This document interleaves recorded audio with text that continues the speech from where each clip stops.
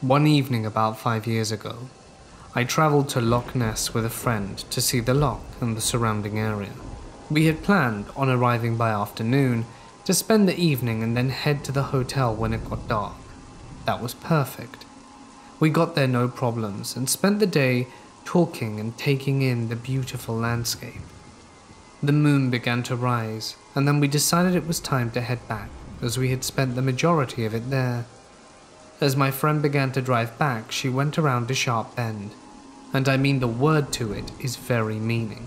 She narrowly avoided a man standing on the edge. She was quite understandably in shock and slammed on her brakes in sheer panic. She began to pant, verging on hyperventilating, as I tried to calm her down. She had believed she hit the man when she swerved. The man was okay, as we later learned, because he walked towards the car and apologized for standing so near the road. After, we tried to make small talk with repeat apologies. He showed me two pictures and asked if I knew the people, because he was trying to track them down. It was dark, so I switched on the light and quickly glanced, then I said I didn't. I showed my friend and she shook her head without properly looking, but was still in shock. The man didn't ask for the photos back, nor did that conversation go any further. He apologized again and wished us a good night. Without realizing, I joked that we would be better once we got back to the hotel. He laughed and walked off, and we drove on. When we were in the hotel room, I looked at the two pictures more attentively and felt sick to the pit of my stomach. One picture was of me and my friend stood at the water's edge overlooking the loch with my arm wrapped around her. The picture had been taken from behind. The second picture was of me and my friend walking together, our faces clearly seen. That picture was taken from the side, but it must have been done in a wooded area because you could see tree branches. We both sat there for about an hour with the pictures at our fingertips facing us, speechless. I tried to remember the man, but couldn't remember any features because of the darkness, besides a beard, glasses, and that he was soft spoken. Later that night, I was awoken by my friend who was screaming frantically. When I ran into the room, she said that the man with the tall glasses was watching her through the window. We packed up and left, and I've never been back to Loch Ness since.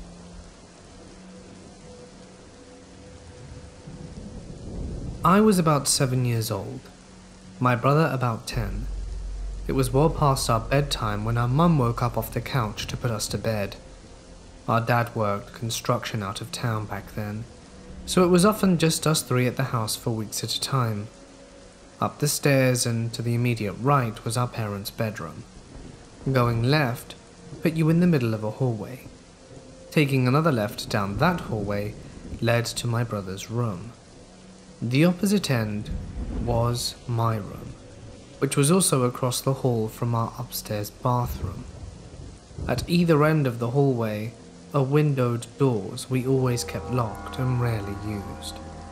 The door on my end led to a balcony overlooking our front yard, and the door on my brother's end opened to our back porch. The house kind of leans into a small hill. My brother and mum had a bad habit of waking up in the middle of the night to use the bathroom. I only knew this because I was always a light sleeper, and they just couldn't help flushing with the door wide open. This night, however, my brother stopped on his way to his room and came back towards the bathroom. I'm gonna try to pee before I go to bed. The past few nights I've been too afraid to walk to the bathroom I keep seeing a man wearing stripes at the end of the hallway. I don't know if my mum wrote off as my brother telling ghost stories to try and scare me, or if she was already half asleep and didn't catch it, but she didn't react at all to my brother's confession. I, on the other hand, was terrified of it, for fear of seeing a ghost at the other end of the hallway or through the window is the reason I started running from the stairs to my bedroom at night. Years later, when I was 18, my mum and I were having a conversation in her car about a dog we had for a very short time when I was little. We were sharing stories about Max's tendencies towards destroying my shoes and other unruly behaviors when my mum blurted out, Don't you remember that time I opened the front door for the cops and Max ran inside to the kitchen and started tearing open that bag of dog food we had? This really caught me by surprise, because in all the years I lived in that house, we never once called the cops. Got known a family in a quiet rural neighborhood. I asked her what she was talking about, and she looked equally surprised as if she had just revealed something by accident. Oh, that's right. I never told you because you were too young at the time. Well, one night I woke up hearing noises outside my window, and when I looked, I saw a man standing in my bedroom. She went on to describe how turning on the lights caused him to take off running, and how she grabbed my dad's pistol before calling the cops. I can't remember all the details I gave them when they showed up.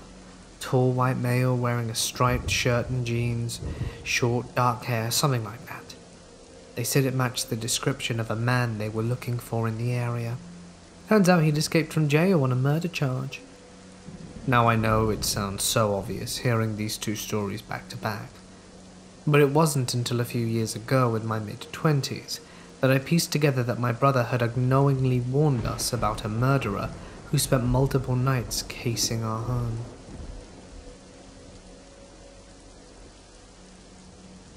This incident happened at my ex girlfriend's friend's house. We're still good friends. He's a single dad called Scott, and at the time of this incident, Scott's daughter was only shy of four years old. Scott lives in a pretty old house in LA with wood floors and was built in the 20s. It's a modest two bedroom home where it's just him and his daughter. Scott is a complete skeptic when it comes to the paranormal. But even he says his house feels creepy at times.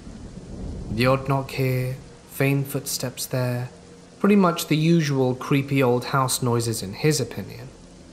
He does wake up from them from time to time, hearing his daughter talking to her imaginary friend, while also having a deep and intense feeling of dread. He chalks this up to sleep paralysis, and his toddler being a toddler. Fast forward to the day of the incident. His daughter was busy playing with her toys in a sort of empty den he has, where she has a few toys in the corner of the room. It's a handy place for her to play while he works from home, so he can still keep an eye out for her.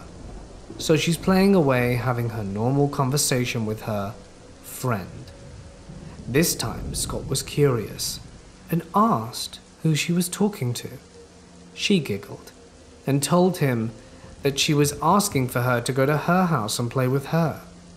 Scott asked where she lived. She shrugged and answered, I don't know.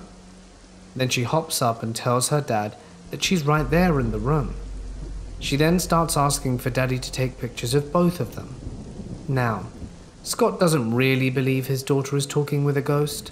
His daughter is at that age where she's fascinated with phones and cameras and any sort of technology, really. He, being the good dad he is, pulls his phone out and begins taking pictures. At first, he snaps one or two and is trying to get his daughter to smile.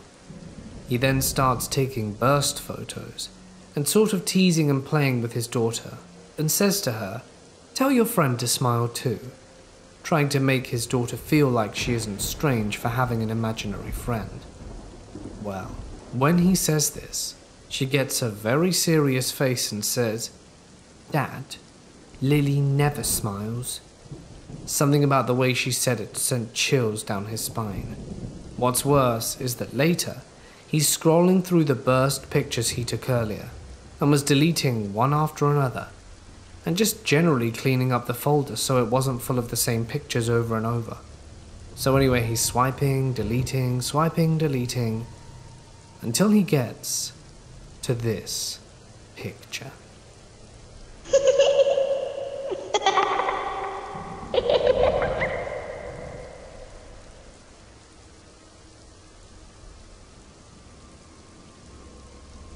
This happened to my mum's best friend.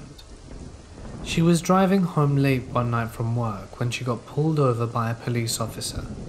She had no idea why, but figured it could be a tail light or something so she pulled over. When the officer approached, he confirmed to her that her tail light was out and asked for her license and registration. So she gave it to him, and he disappeared to his car for a while. Later, he came back. He started asking her weirder and weirder questions. They started regularly.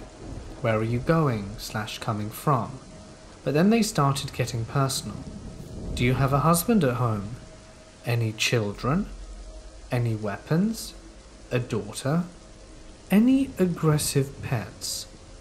Once the questions started getting concerningly personal, she told him that it was inappropriate to be asking these questions. Then he started getting aggressive. I'm a cop. Do you know what that means? It means you shut up and do what I say. Now step out the car. Obviously, she was pretty scared at this point. She rolled up the window and started looking through her purse for her phone. At this point, the officer went straight up violent. He was pounding on her window and trying her door, yelling crazy stuff like, Get out of the car, you dirty, insert curse word here. So, in a full blown panic, she stepped on the gas and drove away. A chase occurred for a short while, but the cop quickly stopped following her as she got closer to the main road. She then called 911 where she learned that there were no officers that were supposed to be in that location. It was in the coming days it turned out that there was a rapist who was posing as a cop in the area. She had never had a broken tail light at all, but he had her address, her personal info, and even knew about her husband and daughter. She told him she didn't own weapons, so she immediately purchased a pistol. Unfortunately, she was forced to live in fear for a while until they finally caught the man.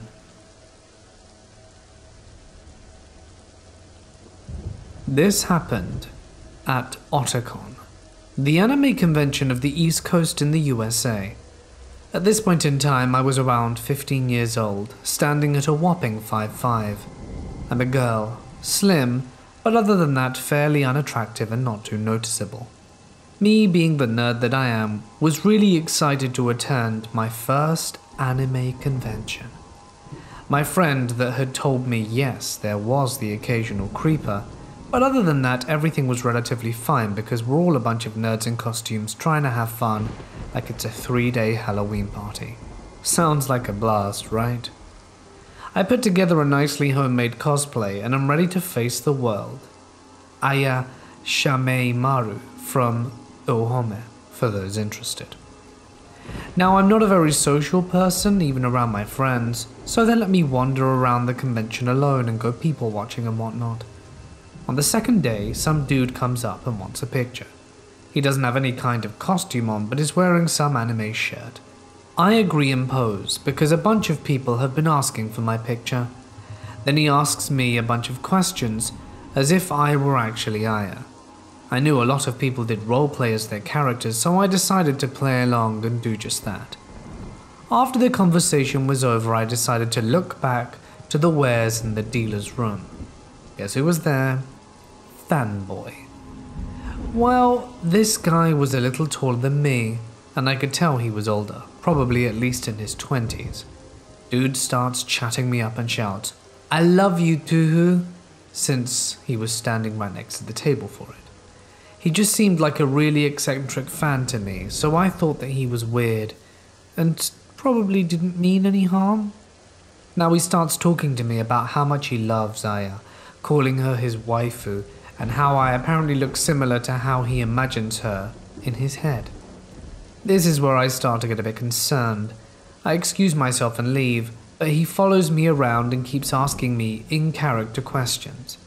I looked around for a security person, but surprisingly, I didn't really see one outside of the man by the doors coming in, and we were on the other side of the room.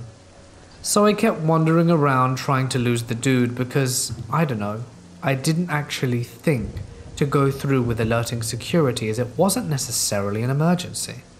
I wanted to contact one of my friends, but also didn't want to worry them.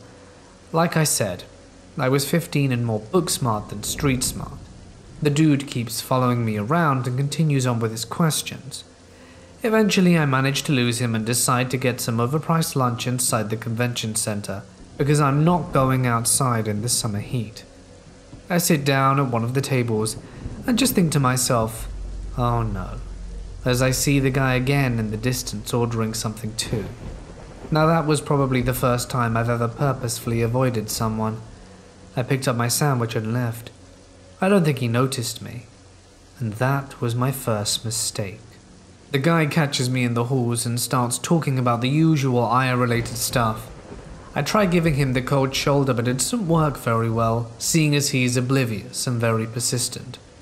Then he starts talking about how cute I am and going on about the whole waifu thing. Now, at this point, I was pretty creeped out and asked him to stop. He seemed very confused and acted like he didn't know what he did wrong, and everything goes back to how it was 10 seconds ago. Now, at this point, he had followed me into the artist's alley, and I was probably visually uncomfortable. I'm practically backing away from this dude, and I politely try to tell him to go away. Then I see some guy in a fursuit walk up to us. Now I'm sitting there thinking, oh god, please no because I immediately assume it's one of the dude's friends, as I notice he'd been watching us for at least a minute. The first thing that comes out of this giant blue dog's mouth is an irritated, Hey buddy, I'm gonna need you to back off my friend. Now, I didn't know anyone who owned a fursuit, but I have never in my life been so relieved to see an impossibly coloured anthropomorphic dog. Now, this Dog guy is extremely tall, dwarfing me and being big enough to intimidate fanboy over here. He doesn't want to leave though, making up some crap excuse about he's just having fun. Then another fursuiter comes up and stands next to the blue dog guy, and is also pretty big. There's two more in the background looking over at us, and it's at this point the weeb realizes it's time to leave, and reluctantly slinks away, looking back every so often. Since the furry crew was looking around at the vendor's wares, like I was, they decided to stick around with me for a bit to help ward off the creeper. And it worked. I never saw the dude again. It can certainly be unnerving to have someone follow you around so persistently. I am a waitress at a local Italian restaurant that also does deliveries and pickups. One day, I would say a year ago, a man came into my place to carry an order. A girl I work with noticed him walking up to the door and asked me if I could take care of him. I said yes, not really thinking anything of it, and she walked back into the kitchen. He came in, and I could see why she had asked me to serve him. He immediately gave me the creeps. He was an older man, short and stout, wearing a big coat and a winter hat. He reeked like someone who had smoked an entire pack of cigarettes while walking through piles of cow poo. Thinking of it now in my apartment all alone, I can still smell him. What really scared me was the way he stared into my face, chin turned down towards his chest, looking up at me through his eyebrows. The stare made me feel like he was thinking of every possible way to torture me. He didn't say much, just sort of growled his order of me, he paid and waited behind the counter for his pizza to take home. He would pace with his hands locked behind his back, while never shaking that stare. Even when he would turn to pace the other way, he never shook his glance away from me even for a second. Being that I'm working behind this counter, I can't really go anywhere in case someone calls or comes to get their order. So I just stood there, waiting for the clock for his order to be done so he could leave. Once he was gone, I asked my co-worker if she knew anything about him and why she wanted me to take care of him. She told me that he gives her the creeps and that he was a registered offender but never went into the details of his charges. And honestly, I didn't even want to know. I still thought about him for the rest of the day and looked twice before getting into my car at the end of the night. But sure enough, I soon forgot about him. Unfortunately, it didn't last. He began to go in very frequently. At first, maybe once every other week, then every week, then every day. Every time he would order the same thing, and began his pacing with that burning stare. Every chance I would run to the kitchen or get away from the counter, I would. My co worker would make jokes about how much he liked me, saying he has never stared that hard at any other worker in that way before. These jokes didn't make me feel better, to say the least. The jokes halted when we noticed his pattern. We noticed that he only comes in when I would be working. We started to suspect that he recognized my car. I never had the same schedule, but I always parked in the same spot in our very open parking lot, so you'd always be able to tell who was there if you knew their cars. The shifts that I would work were a little strange as well. There was a very, very dead time at the day where we would cut half the staff, giving us a break for a few hours long. He began to come in sometimes twice a day I was working. He would come in while I would work in my morning shift and then come again from my evening shift. Or maybe it was just a crazy coincidence. Nevertheless, it freaked me the hell out. One night after working a double shift on a Saturday, I had walked out to my old car which I never locked. Three out of the four doors on my car were broken in some way, so it's easiest to just keep them unlocked at all times. And I could admit that car was a piece of crap. No one would have dared steal it. So I never worried about it. Until this particular night, I got into my car and immediately noticed the stench. My car reeked exactly like the man. That same smell of non menthol cigarettes and cow poo was around me.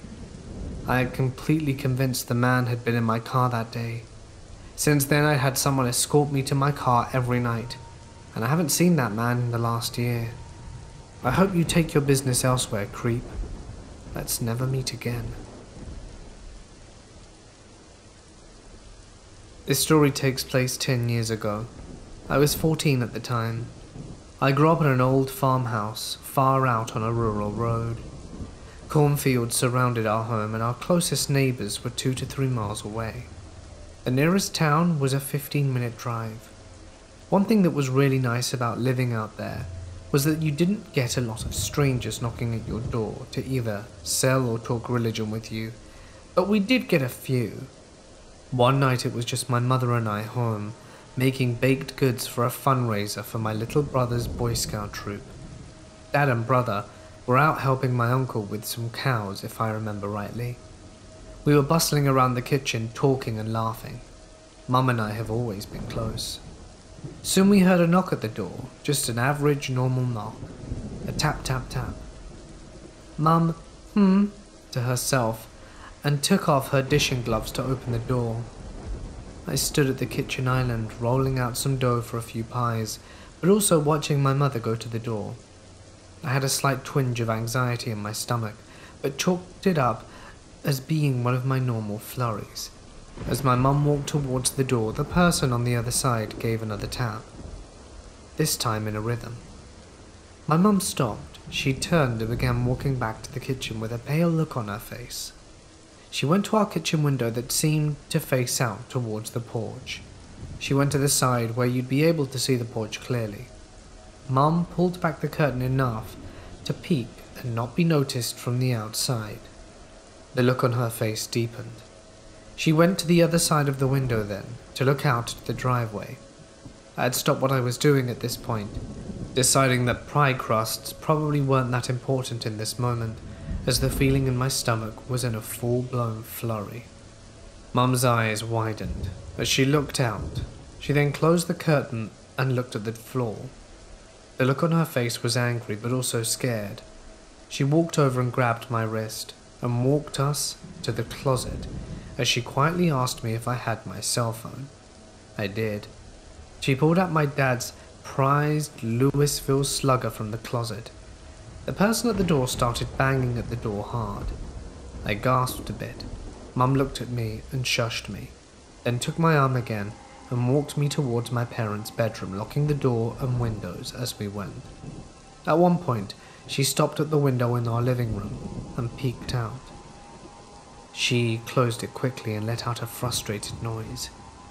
We got to the bedroom and she pulled me in and locked the door. She took my phone and began dialing as she gave me the bat. She sat me down on the floor on the side where I'd be hidden from the door and opened the closet to get the gun case. She talked quietly on the phone, and I was terrified and couldn't focus on what she was saying. She pulled out my dad's shotgun and quickly loaded it. I looked at her, scared as she hung up. She pulls me up again and walks me out the bedroom. We creeped back over to the other side of the house where the bathroom was. Mum gave me my phone and ushered me inside. She set down the gun and looked at me with both hands on her shoulders. You need to listen to me. There are some men outside, and they're walking around the side of the house. I looked at her with wide eyes. I could feel myself shaking. Why? What do they want? I don't know. But you need to stay in here, lock the door, and don't come out until I tell you. Understand me? I nodded, and she squeezed my shoulders. I'm going to barricade the door from the other side. I will not move the barricade until I let you know that it's me. I knew what she was saying immediately. Crawl out the bathroom window and run if it's moved otherwise. My mum shut the door and I quickly locked it. I heard her move the quartz chest in front of the door, a very heavy box with lots of quartz from over the years. I sat on the floor in front of the window clutching the baseball bat. I sat there for what seemed like hours, but was merely five minutes. While I sat there, I heard two footsteps outside the window. Two deep voices talking quietly. You sure they're in there? Maybe no one's home. Nah, there's at least two women in there. Heard them talking at the door. Saw a guy and a kid leave when we passed the house earlier. I shivered and started to hyperventilate, but quickly covered my mouth with a towel to mute it. Who were they? What did they want? Why were they here? Soon I heard another voice. Guys, let's go. Charlie spotted cops down the road. Then I heard three sets of feet running towards the front of the house. I was crying at this point, tears pouring down my face. Was it over? Were they leaving? A few more minutes go by and I hear a man's voice in the house. I started to panic and huddled into the corner of the bathroom, and I heard my mum's voice on the other side of the bathroom door. It's me, the sheriff's here, they're gone. I'm moving the trunk. I got up and unlocked the door and opened it to find the sheriff and my mum moving the trunk out the way. I quickly ran to my mum's arms and we stood there holding each other. The sheriff said he had quite a few more officers chasing down the van and that he needed to ask me and my mum some questions. My mum nodded and we walked to the kitchen where there was the smell of burnt cookies in the air. The sheriff asked us questions, and that's when I found out what my mum saw. When she looked out and saw the man who was knocking at our door, she knew something was off immediately. He was casually dressed, gym shorts and a wife beater, not something a salesman or person of a church would wear when coming around. So then my mum thought that maybe his car broke down or something and that he was looking for help. So she looked out at the driveway and saw something that made her stomach drop. There was a van in our drive, parked in a way that wouldn't allow my mother's car to leave, with a man in the passenger seat and another leaning in towards the front of the van, talking to the passenger. But Mum noticed that even that both were still, the van was still slightly rocking, like there were more people inside. As my mum and I were finishing up with the sheriff, a deputy walked in and he looked pale. He looked at my mum, the sheriff and me, and the deputy went, Sir, we were able to catch up with the van. They lost control and swerved into the ditch, actually. Any of them hurt? No, they're fine, but uh, we, we have them in custody. The sheriff quirked an eyebrow. There were five men in the van. We asked them what they were doing out here, and what they walked around the house like they did for. And? What did they say? They said they were vacuum salesmen, sir that they were a team out trying to sell their product they made. The sheriff scoffed for a bit. Well, Jones ended up checking the van and. Well. Well, what? Do we have a drug bust or something? The deputy gulped and looked at my mum and me again. No, sir, not what we found at all. They took my mum outside and told her what they found. She was horrified and came back, sobbing and holding me. After that, they phoned my dad, and he came rushing home. My other uncle, a mountain of a man, stayed that night just in case. Dad and Mum spent no expense on home security and taught both of us kids how to shoot and load a gun. My aunt and uncle gave us one of their German Shepherd puppies as well. Mum had to train him to be an attack dog, but you wouldn't be able to tell.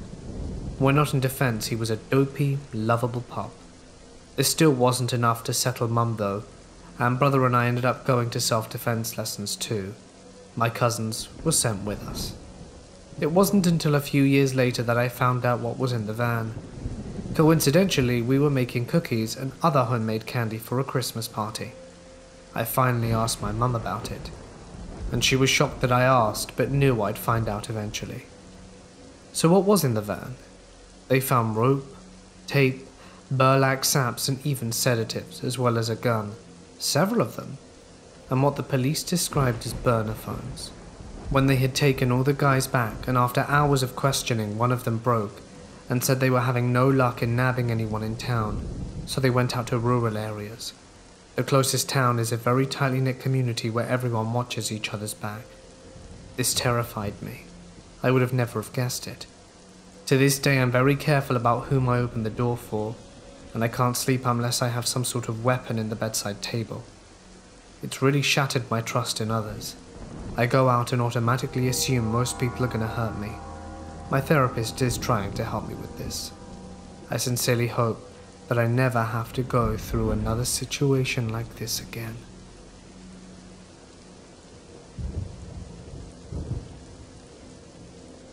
I used to work quite late at the University of South Florida, as I like to do my work when no one else is around. My apartment is just a short ways off, roughly a 10 minute drive or 40 minute walk away depending on what I took. So while I do live in Tampa and it's far and away from the cities, no three story buildings in sight, a few neighborhoods, ample amounts of trees and ponds, and a stone's throw away from a rather sizable state park of 240 acres, which in turn is adjacent to a substantially larger wilderness area. What that means is a lot of wildlife. I regularly see deer grazing on the golf course nearby, growling alligators roaming the ponds, and small lakes turtles abound. Plenty of vultures, storks, and smaller birds, and much more on my nightly walks or drives. I've often seen and heard foxes, bobcats, coyotes, and even a black bear once. So, as you can imagine, when I found out several cats and a small dog had gone missing, I naturally thought that if a predator was responsible, it would be one of the larger coyotes, bobcats, or maybe even a bear or gator. People, especially in gated communities, leave their pets out to roam about the day or night. Still, that did leave the question of how a predator could or would get over several fences and gates, some of which would be quite a hassle to climb, and there was no signs of being tunneled under. So why go for a pet inside a box that would be harder to get out of when fat ducks were extremely abundant? Well, I got my answer in one way I never expected. I was driving back from the lab late at around 11 pm when I stopped as I could see an animal on the road. The figure was very tall but also very thin, so I initially thought the pale color to be from a deer from the rear. However, I soon noticed the animal was actually pale all over its main body. It had extremely thin dark legs, and when it raised itself up, I noticed I was looking at a great white heron from behind. Great white herons are a regional color morph of great blue herons being nearly all white in coloration, including the trademark tassels coming off the brows of the birds, save for the top jaw and feet, which are both dark blue or black. The white form usually only appears in very southern Florida, but occasionally one will show up further north. They also tend to be on the larger end of the species size. I make no jest when I note how big this avian was. Standing up straight, the biggest great herons can look a grown man in the eye behind nearly a foot long rapier shaped beak. The heron was throwing its head up and down and clearly doing something, but I wasn't sure what. I was standing in the road about 20 yards ahead of the car and could only react when I got closer. It swung its head around, and I'll never forget the sight as I stopped 10 yards away. The heron was standing still, unflinching, as its eyes brightly reflected in the headlights. The white feathers across the chest and part of the wing were stained in a tarry red from coagulated blood, as it had half of a cat hanging out of its mouth. Herons can gulp down surprisingly large prey, such as big fish, muskrats, bullfrogs, and even young alligators. But it's one thing to see them swallow a wild creature whole, in still frame or in pixel on a video. It's a whole different ordeal to see one doing it in the flesh after having killed its prey by impaling it on its beak. When I compared the beak to a rapier earlier, I meant it. They can impale that thing through the armored scales of a garfish. Herons have been known to kill eagles by ramming their beaks through the latter's chest. Poor cat never stood a chance. The heron didn't seem at all phased by my arrival. Instead, it flicked the dead cat back and forth into position in its mouth before tilting its head up. You know that shot from Jurassic Park when the Tyrannosaurus swallows a goat? Same sort of visual at first, only with another disgusting detail. When the heron started swallowing, its thin neck bulged outwards to accommodate the food. It kept its eyes pointed straight at me as the big wad of slain feline slowly worked down its throat to the crop, sometimes a limb visibly impressing towards the outstretched skin. All the while, the heron let out raspberry breaths while standing tall, still spattered in gore from pecking on the poor pet to death. And after it finally swallowed its prey, the heron paced closer to the side of the road. It actually got next to the car at one point and was close enough I could confirm its height to be about 5 feet or more, because the top of its back was level with my side mirror. It was at that point I realized I had the windows partially rolled down and was smelling sanguine musk of death. The damn bird was nearly level with my window looking right at me and leaning closer. Needless to say, that snapped me out of my stupor. I blared the horn to make it back off, on the menu or not, I didn't like how it was looking at me. Driving down the road and making the turn, I could still see it looking towards the car as it paced down the darkened sidewalks like it was the most casual thing ever. A four to five foot tall predator half covered in blood just to be there. Obviously, I was in no direct danger myself being in the car, and decidedly not on the menu, but I didn't like the way it looked at me. This avian predator clearly didn't at all fear people, even if it seemed conscious of cars and my presence. And given this happened in a gated community, I'd never seen any mammalian predators bigger than a possum in. I think I now know what was eating those pets. We often can hear nowadays that birds are living dinosaurs, but I don't think some quite register that the featherheads they're familiar with are fat city pigeons or delicious fowl. I think seeing this would help get the message across. And at night, every so often, I can still hear the deep, throaty shrieks that species gives off from flying over the forests and swamps and into the neighborhoods. Don't leave your pets out, people.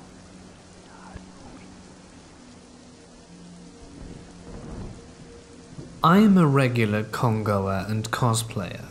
So when I was offered a free badge to a small late summer comic book convention when I was 17, I thought why not? I really didn't have any cosplays planned out, since it was last minute, but I did have everything I needed to make a convincing Daisy Buchanan from The Great Gatsby. All day went great. I volunteered at the booth of the people who had invited me, handed out swag, and came across a lot of nice people who liked and recognized my Daisy ensemble. At the end of the day, I helped pack up and bid my friends farewell as they left the exhibit hall. I wandered back out the main hall, called my dad, and proceeded to wait on him to come pick me up. I knew it would be a while, so I stood by a pillar, playing on my phone to kill time. After a while, a man probably in his early to mid 30s came up to me and asked whom I was. I told him I was Daisy Buchanan. He smiled and asked if I could have a photo. I obliged, smiled, and posed for the picture as usual. But after this, things got weird. After he had taken the photo of me, he proceeded to stand really close to me, putting his arm up against the pillar I had against my back and began to talk to me. So, what do you think of me? he asked. I don't know, I just met you, I replied, kind of feeling uncomfortable at this point. Do you want to go to a party after this? The guy from Nine Inch Nails will be there, he then proceeded to say. I just kind of laughed because I knew who Trent Reznor was and didn't need him labeled as the guy from Nine Inch Nails. However, I was also not stupid and realized there would be no such party and no such vague Trent Reznor. When I laughed meekly, though I suppose he took it as a sign of me enjoying his company. You're not gonna fall in love with me, are you? he asked. Then I was completely floored. Who does this guy think he is? I was so uncomfortable by that that I felt my whole body heating up and screamed at me that this guy was a complete and total creeper. I wanted to dart away, but my purse was on the ground and I really couldn't retrieve it without awkwardly crouching down near his legs and then darting off. Uh, no, was all I could reply with. Well, I might fall in love with you. He was about to talk some more, but thankfully, a friend of his, I guess, who had seen the scene unfold, finally interjected. He approached us both and engaged him in some trivial conversation. He was clearly irritated his friend had just blocked him while he was distracted, and I picked up my things and dashed off. I went back to the exhibit hall, but my friends were gone, Unsure of where to sit safely for my dad, I went out front. Luckily, I came across another old friend of mine outside and sat with her until he arrived. When I told my dad what happened, the only thing he said was, I can make it so you can meet Trent Reznor if you want. Thank you, Dad, for your expert counseling. I did get the guy's business card, and when I went to his website, he seemed to be a legitimate photographer who shot models and whatnot. It made me wonder how he was able to keep clients with such a gross demeanor, though. This is my story about my haunted doll, Claire. She's been featured in books, haunted objects, stories of ghosts on your shelves, a few paranormal podcasts, and the TV show Haunted Towns that aired on Destination America back in 2017. You can still catch reruns of the show on the Travel Channel every now and then. She was in the season finale featuring Madonna, Georgia. Here's my story. As an eight year old child, I was given an old porcelain doll by a very dear family friend, Miss Marion. She was constantly coming across things and giving them to me. This doll was the last thing she ever gave to me. I was never really into dolls at all growing up, but I took the doll and placed her in my room in a small child-sized rocking chair. The chair sat next to my closet and dresser, right beside my nightstand. The doll was very pretty. She was dressed in a peach and cream colored dress with an apron and petticoats. She had little black Mary Jane shoes that, when removed, showed her delicately painted toenails. Her body was soft. Only her head, forearms, hands, and legs from the knees down were porcelain. Her lips were pink, and her dark brown hair hung in slightly frizzed and now loose curls. Her eyes were brown, her cheeks were rosy peach color, all like mine. Miss Marion made a point of saying the doll reminded her of me, which is why she gave it to me. From the moment the doll, who I named Claire, came into my house, things began to happen. I was always uneasy with Claire. I never wanted to touch her, and when I played in my room, I felt like she was watching me. It wasn't anything to panic about, but I do remember feeling like if I did something wrong, she might actually tell on me. How ridiculous does that sound? The first real occurrence I remember was when I was reading in my room. Ghost stories, if you can believe that. When a musical carousel horse that sat on my dresser began to play. Not just a few notes, which old mechanical music boxes will do at times, but like someone had wound it up fully. I sat stunned, and stared at the little horse as it moved up and down in time with the music. Then it just stopped. Not wound down, just suddenly stopped. I was a pretty brave kid. I didn't run, and I didn't tell my parents. I also used to see a shadow man in the hallway or in my parents' bedroom door whilst I was growing up. And if my mom didn't believe me about that, she wouldn't believe about the mundane thing like a music box playing. So I just let it go. The next thing that happened was the voice. For several nights, and on into the years, I was woken up by what sounded like a woman inches from my face, shouting my name. Jill, wake up. I jump and sit up and find my room empty. Those happenings died down after a few months. She then started to plague my little brother with the same thing. And now he and I are grown and gone, and she's moved on to my dad. The little things started to get to me. I'd put something in a certain place, only to find it later on the floor or on my dresser right next to Claire. All my missing items eventually turned up around her. Once a ring ended up in the pocket of her apron. Books would fall off my shelf and perfume smells would sometimes fill my room. The doll itself didn't smell at all, but the air around her would. My catalyst to finally getting Claire out of my room was the night I woke up after hearing thumping around my closet. I opened my eyes, sat up in bed, and of course my eyes were drawn to the nightlight where Claire sat. As I watched, the source of the thumping became clear. The rocking chair Claire occupied was rocking on its own. I had thick shag carpet, so there was no way it was rocking just by chance. If that wasn't enough, Claire's feet, which were both turned to the side facing the opposite way from each other, slowly straightened themselves to both be pointing directly up. This part still freaks me out 20 years later. She then turned her head which was quite impossible to do since it was attached, fixed to her cloth body. She looked towards me, and every music box in my room, four of them, started to play all at once. I was frozen in fear. I didn't feel endangered, so as much as I just felt scared of what was happening, I screamed for my mum and dad. The music stopped, but Claire maintained her gaze in my direction. And this is why I hate dolls. Even after that, I couldn't totally get rid of Claire. I ended up stuffing her into the back of a box of a storage closet. She's still there as far as I know. So is the woman who now screams my dad's name in the middle of the night.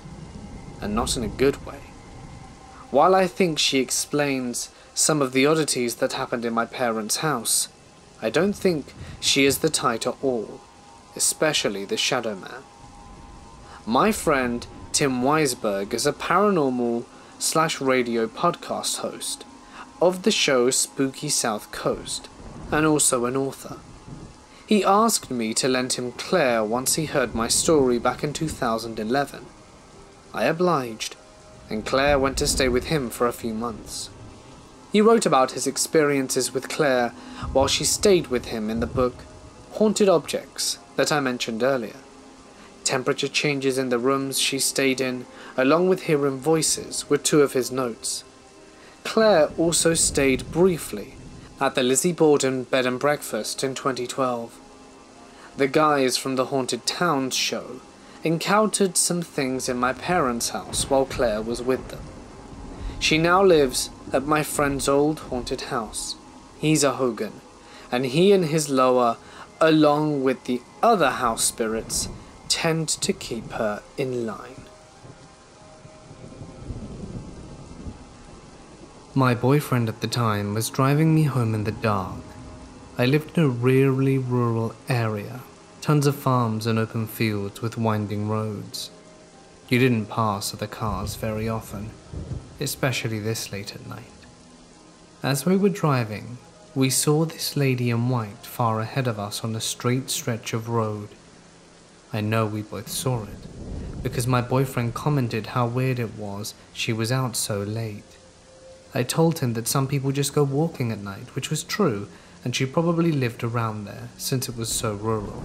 Night walkers weren't an uncommon thing, since the only thing you had to worry about was the wildlife.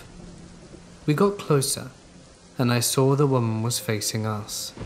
Her hair was pretty light colored too, so it was hard to really make her out in the headlights because she was so pale and the lights just reflected off her. She wasn't moving, just facing us as we drove by.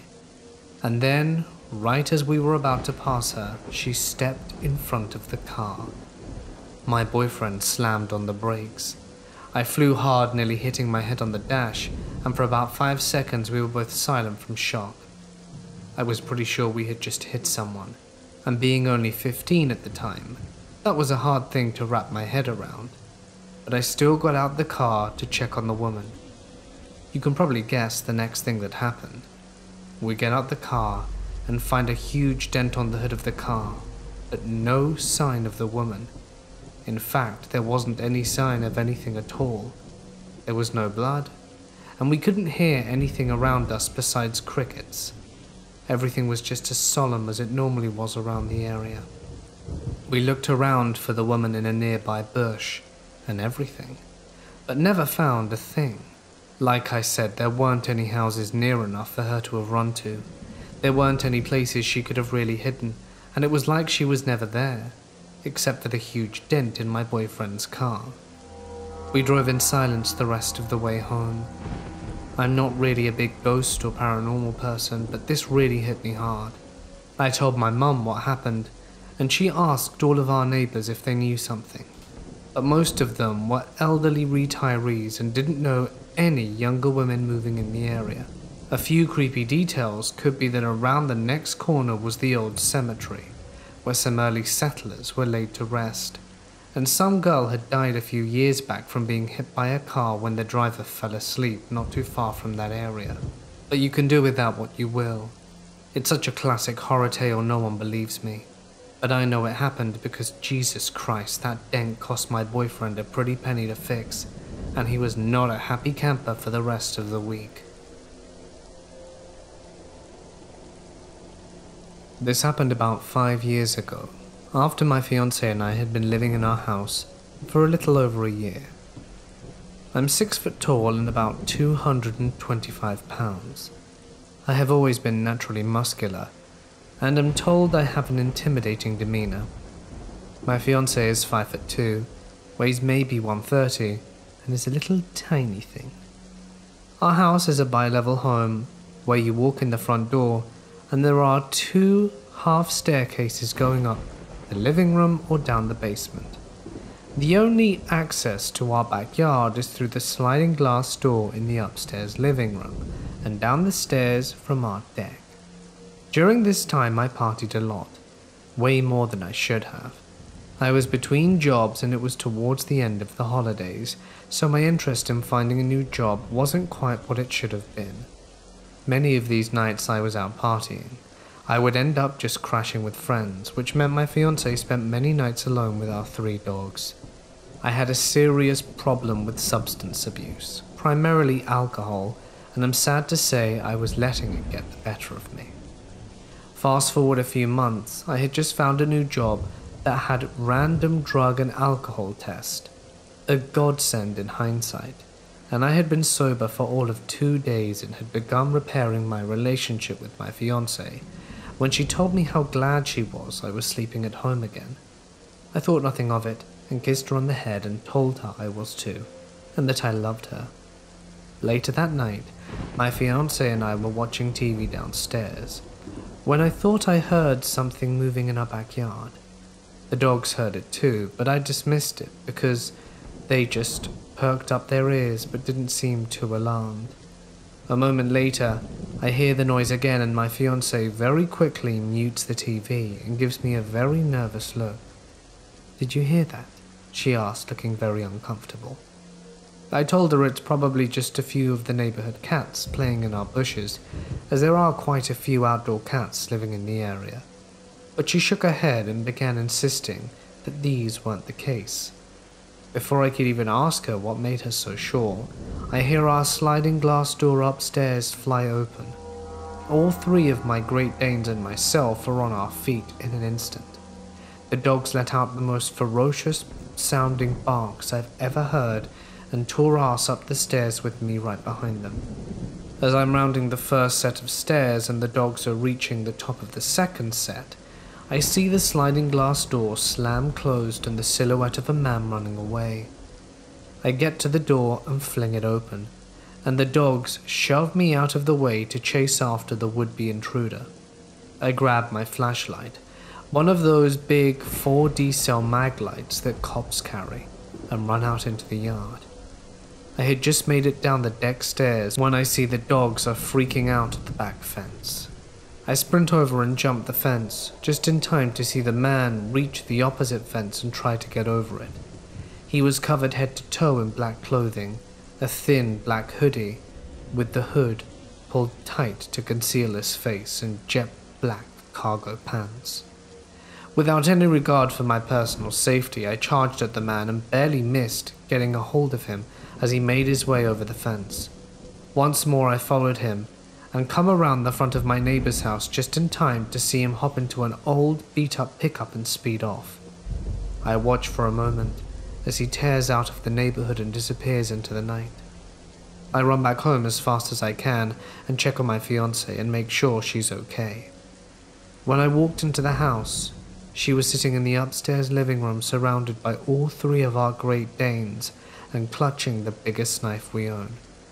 She was visibly shaken, but ultimately she is a very strong woman and told me she was ready in case I got into trouble.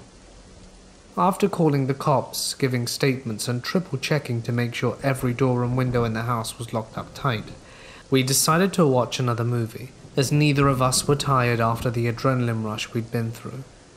During the movie, I asked her what made us so sure before that it wasn't just cats playing in the yard. What she told me was enough for me to decide it was time to change my whole life. She said for about a month now she'd been hearing strange noises coming from all around the house late at night. She would hear footsteps outside and occasionally what sounded like whispering. When I asked her why she never told anyone, she just shook her head and said she didn't know.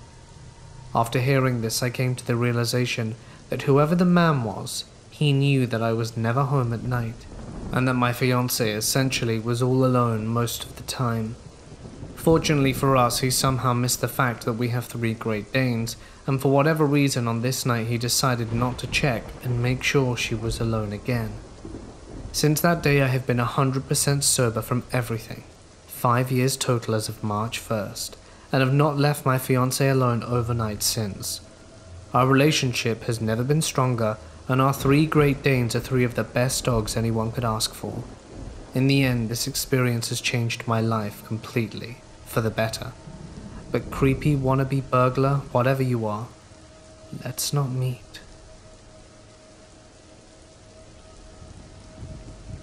I have a ghost in my room that loves to throw things at me.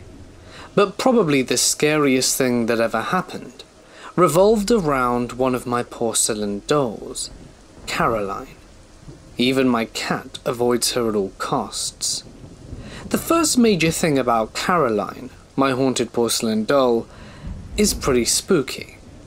It seems like whenever I touch her, any part of her, I get sick or hurt within the next week.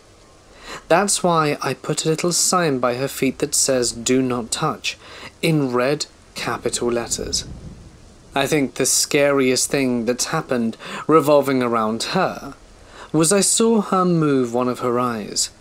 I don't remember all of everything, but I remember I was sitting on the floor doing homework, and I got up to use the bathroom. Right as I did, I saw her left eye blink, then change direction to look directly at me. Needless to say, I hightailed it out of that room. A few weeks ago, I had a weird experience. I bought myself my first car lately, and I'm fairly new to driving, but I needed to get to and from my new place of work. I usually work in the afternoon, and on this day I took a little nap right before I had to leave for work. I was half asleep when suddenly a weird voice told me, Don't take the highway today. It was so clear, it startled me and awoke me. I got ready for work and stepped into the car. Despite having this weird feeling, I took the highway. While driving on the highway, I was almost hit by a truck that didn't let me through. My car made this scary loud beeping noise I've never heard before, and then suddenly the accelerator stopped working. I had to stop on the side of the highway. I was so scared, and I remember the voice immediately, cursing myself that I didn't listen to it. I honestly believe whatever that was tried to warn me and save me, because this could have turned out a lot worse.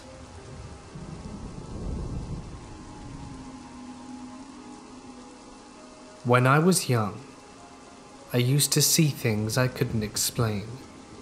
One of the most notable times was when I was a kid sleeping on the top bunk in a room with my brother. I woke up in the middle of the night, not really knowing why. When I looked over the shoulder of the bunk bed, I saw what looked like a chariot floating in the air going from left to right. The chariot was small, probably about the height of my hand, and it moved in a snake like way, slithering up and down, like a sound wave or something. In the chariot sat a man and a woman dressed in old style Victorian clothing. The chariot was being drawn by a long row of horses side by side. It is worthwhile to note that the entire chariot was made up of what looked like fluorescent light, in different shades of white, teal, green, and red. Once the first pair of horses hit a certain spot in the room, they disappeared, and each pair of horses, and finally the chariot did the same, almost like they were going through an invisible portal. I would tell my parents about the thing that I saw, and it led to a few years of counseling. Knowing what I do now about the paranormal, I know that I wasn't in need of counseling at all, as I have no schizophrenic background or anything else that would explain what I did. Skip forward to the tender age of 16. I had just recently gotten my driver's license at this time, and I went to hang out with my friends in the neighboring town. As night came, I decided I'd better get home because I still wasn't too fond of driving at night. Regardless, the sun was completely down, and darkness had come by the time I'd left. The roads that take me from my friend's town back to mine are very rural, with either cornfields or forest on either side. No street lights and hardly any traffic. I turned onto the last rural road leading up to my neighborhood and started going up the steep hill onto the streets. As I reached the top of the hill and made my way over, I saw something strange.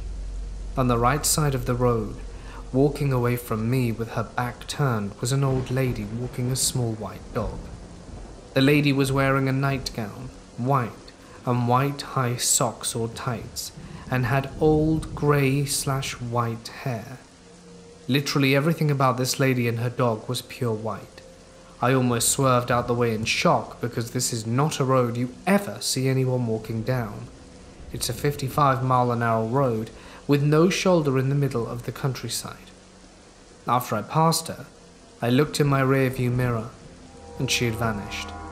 I want to point out the area I am in is inhabited mostly by wealthy families that keep to themselves, so the chance of it being some sort of crackhead or whatever are about one in a million. After I got home, I went to use the bathroom. I remember clearly thinking to myself, did I just see a ghost? And as I was thinking that, a bottle of shampoo fell from the top shelf of a cabinet in my bathroom. This could have been a coincidence, but never in my 10 years of living here has anything fallen off that shelf. There's a very famous ghost story around my area, Chicagoland, of a lady called Resurrection Mary. She was hit and killed by a car in a town about an hour from my house. Since the 1930s, she's been reported seen walking down the side of the road, hitchhiking in a white gown with blonde hair. I'd not heard of this story until recently, and it got me thinking about my experience. The description of Resurrection Mary is pretty damn close to what I saw. I don't think what I saw was her necessarily, especially considering the distance between her reported location and my sighting. but the similarities certainly shocked me.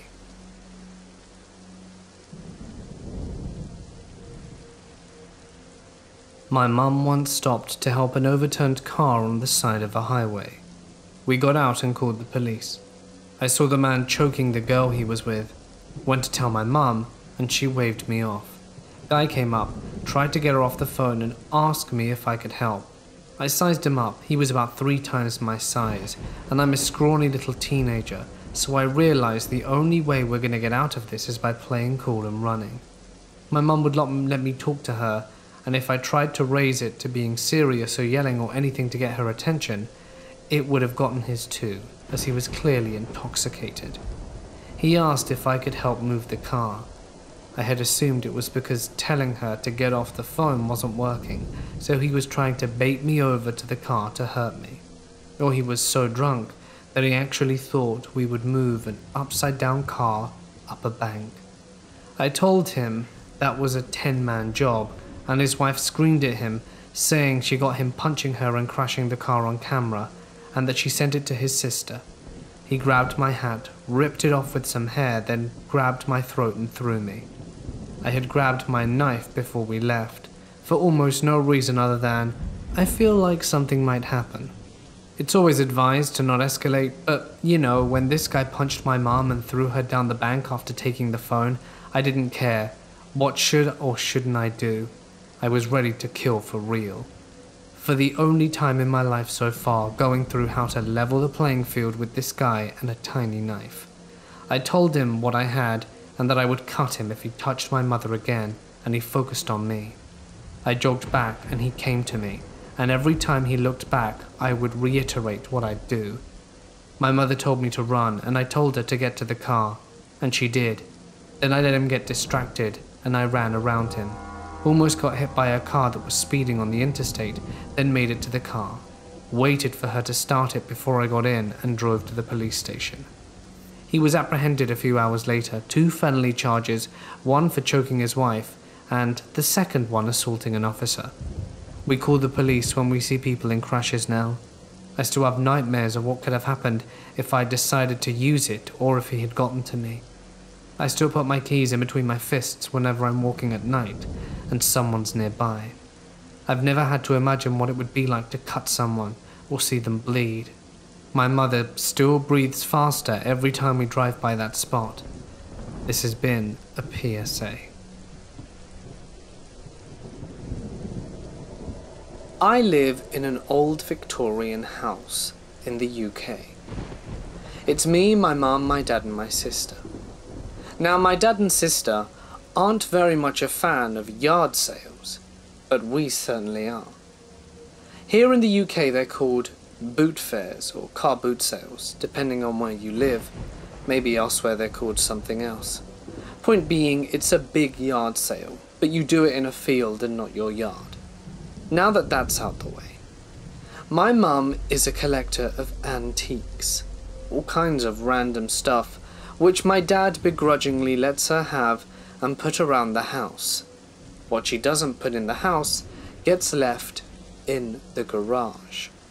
Now, on one occasion, we were at a garage sale, and she eyes a porcelain doll. In my mind, it was a hideous thing, but my mother saw it and said that it reminded her of one that she owned as a child and would very much like to purchase it. I think she got it for something like 10p, or 9 cents in America. So that was ridiculously cheap. The woman seemed very happy to get rid of it, and my mother was very happy to have obtained it. She packed it in the car, and we got home. We didn't even take it out until the next day. We put it in the garage because my mother wasn't exactly sure what to do with it, and there it stayed. One thing to mention is that our garage is very secure. It only has one entrance through a side door behind our house, which no one else can access as our property is very secure. Not only that, we are also very meticulous about organization.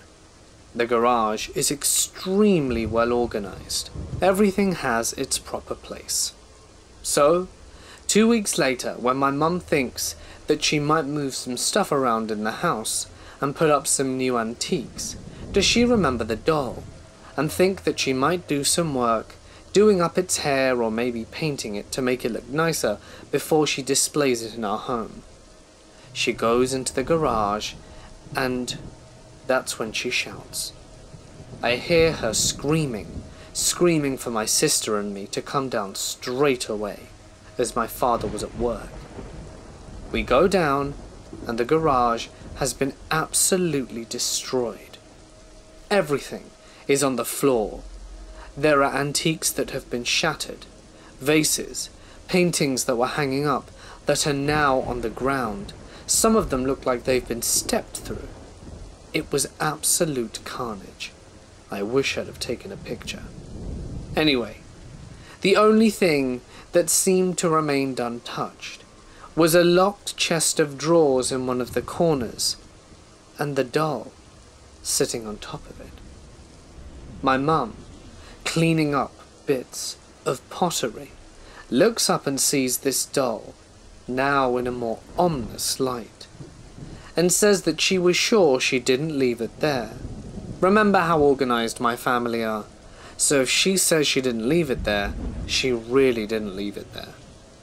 She was a bit freaked out, asked if any of us had something to do with this, to which we of course both denied.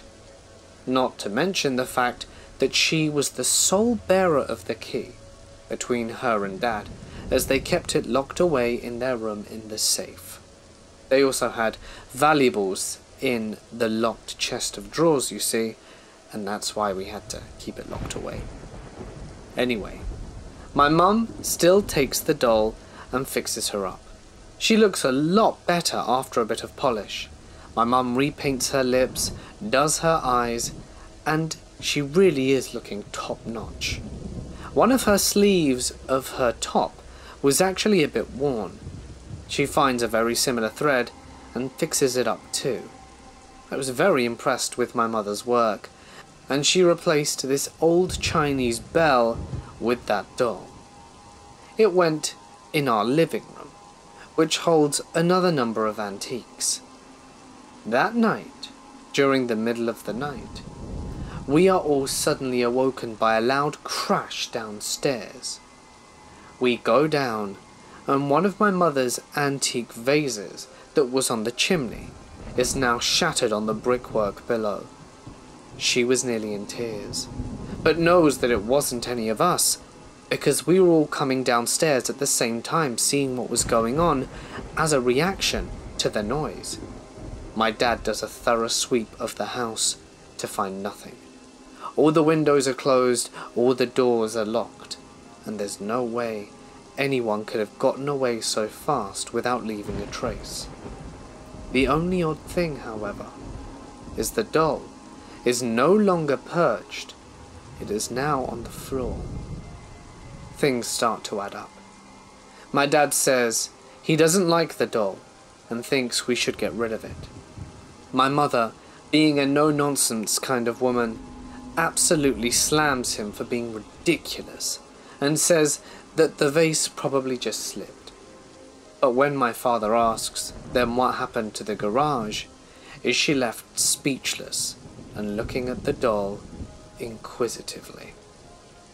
It isn't until a few days later, in broad daylight in the kitchen, when I'm gonna go get some cereal for the morning, that a drawer jumps right out.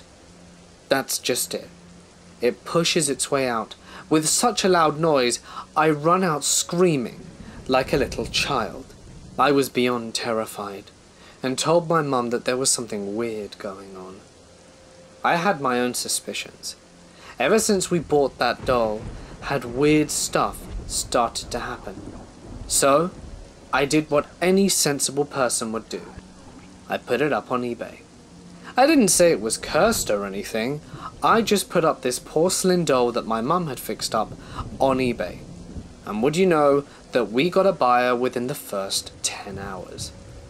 It was actually quite a competitive bidding process, and it sold for roughly a hundred dollars. I packed it away without telling my mother what happened, and sold it. When my mum came home from work, one of these days, she didn't even notice it was gone, as I had fetched the key and replaced it with the old Chinese bell. It's only after about a week, I think, did she ask who had moved the doll, or Shirley, as she affectionately called it. I said that it broke, and so I put it in the bin last week, and that, well, it was gone now. It had been taken away by the binman. She was a bit upset by this, but honestly she didn't really seem to care all that much. Perhaps she was starting to believe that there was something more spooky with the doll than we originally thought. I was glad to be rid of it, and made sure to put in my eBay listing absolutely no refunds. My parents still don't know about this, and I think it's better that way. I don't want them to try and track it to buy it again.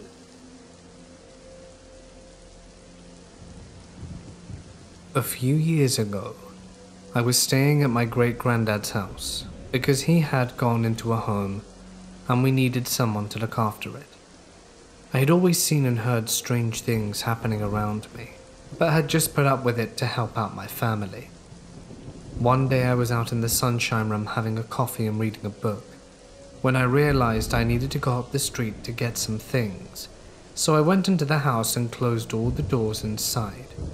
It was a pretty warm day, so I wanted to close everything so the air conditioning worked best. I closed the doors inside, locked the front and back door, and leave for about 15 minutes. Come home to chaos unlocked the back door to find every single door inside wide open, cupboard doors as well. I went through the house, checked the front door, still locked, and felt something move behind me and spun around. But there was nothing. By this stage, I was pretty freaked out, so I started to back my way out the back door again.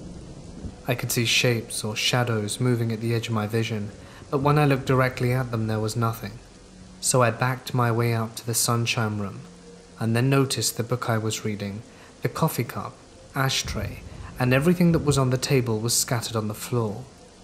Looked inside, it was the same. Not ransacked, but random stuff was scattered.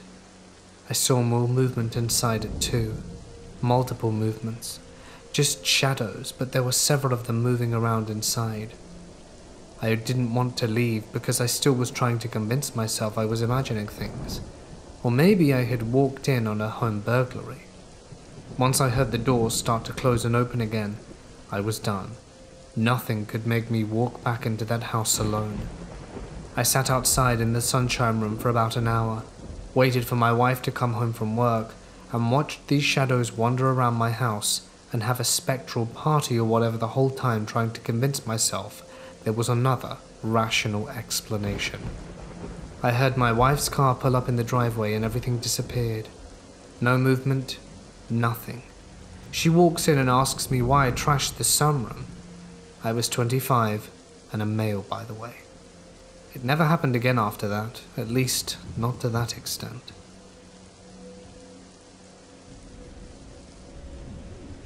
When I was really young, I was really into strawberry shortcake. This was when I was about five or six. It so happened that she had a younger sister named Apple Blossom, or something like that. Well, I had an Apple Blossom doll that spoke when you squeezed her. She had a button in her hand as well. I think, but I don't remember that much. Point being, I shared a room with my three older sisters, and above our bed we had a hammock made out of a curtain for our stuffed animals. I was playing on the bed with Apple Blossom all by myself in the room, and I remember making her speak with all the buttons.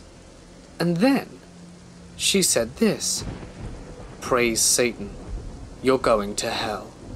In this really deep and creepy voice. Now I knew damn well that that was not one of her sayings, nor was it a normal thing to happen so I threw the doll off the bed and ran and started crying. Of course, no one believes me. To this day, I stick to that story. My oldest sister has the doll in her apartment, and I still find it incredibly eerie. This happened to my wife's friend. One day, she was driving home from work in a quiet area when an unmarked police car sped up behind her and began flashing his blues and signaling for her to pull over. To this day, she doesn't know why, but something wasn't right. And after a call to her boyfriend, he gave her a contact for our local police station. She rang the number and asked about an unmarked police car wanting to pull her over. The person on the phone did a quick check or possibly contacted a dispatcher, and they were told to keep driving but stay calm.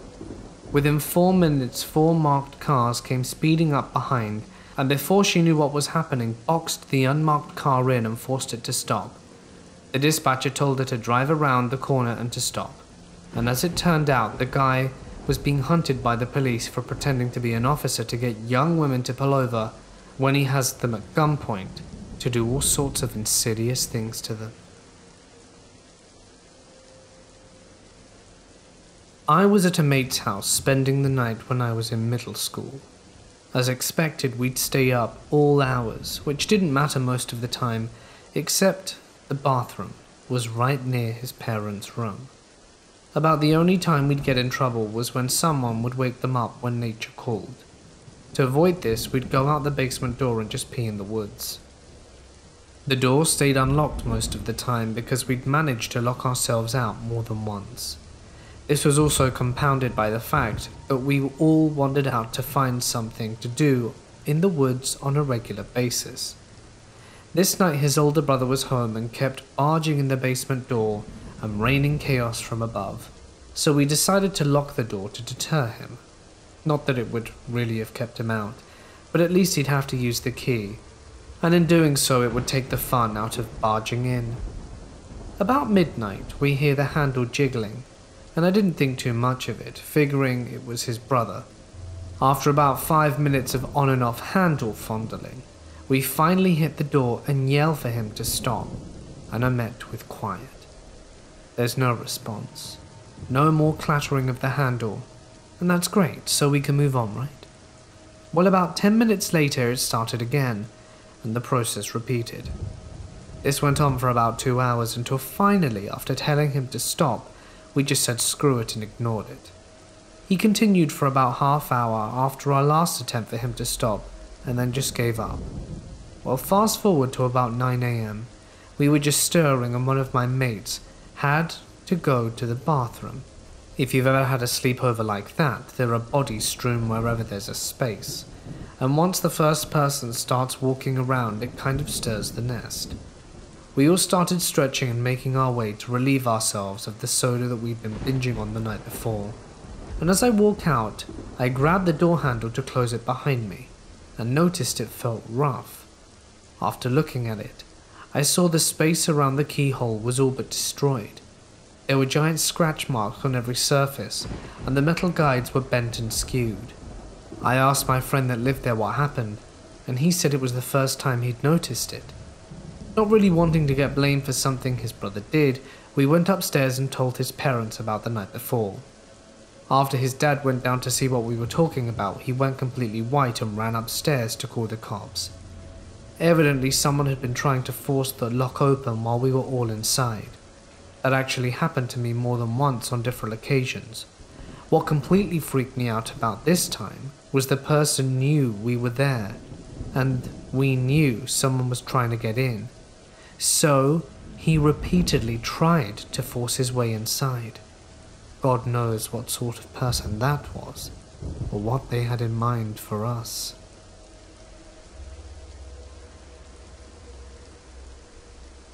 You know how people say, trust your gut feeling? Well, here's how I learned to trust mine. When my girlfriend and I were traveling in Australia, we were both there on our working holiday visas and met each other at work. After nearly a year, my girlfriend's visa was about to expire, but mine lasted another six or seven months due to working on a farm prior. Since we had spent most of our time in the beautiful city of Sydney, we were ready to see other parts of the country too. What most backpackers do is pay a company that takes them up the east coast by bus or simply rent a camper van and drive to the coast themselves. We chose the latter option with a few changes. We were going to start the journey by bus up to Brisbane and from there rent a car that would take us all the way up north, from which eventually we would take a plane to Asia. So the day came. We said goodbye to our workplace and our friends that we had made during our stay and went off. After a few days in and around the area of Brisbane, we started looking to rent a van. Not having a lot of money and wanting to save what we had for other adventures, we eventually settled on renting the smallest and cheapest Subaru that we could find, since we figured it would be uncomfortable to sleep in the car, and bought a tent instead. This car was even so small that it came with a map showing where we were allowed to drive and which roads that it would be too tough for. So the journey continued, and with the help of our rental, we had the option to visit less known or touristy places. We saw some really amazing things along the coast, and since we had enough time, we decided to see some of the real Australia.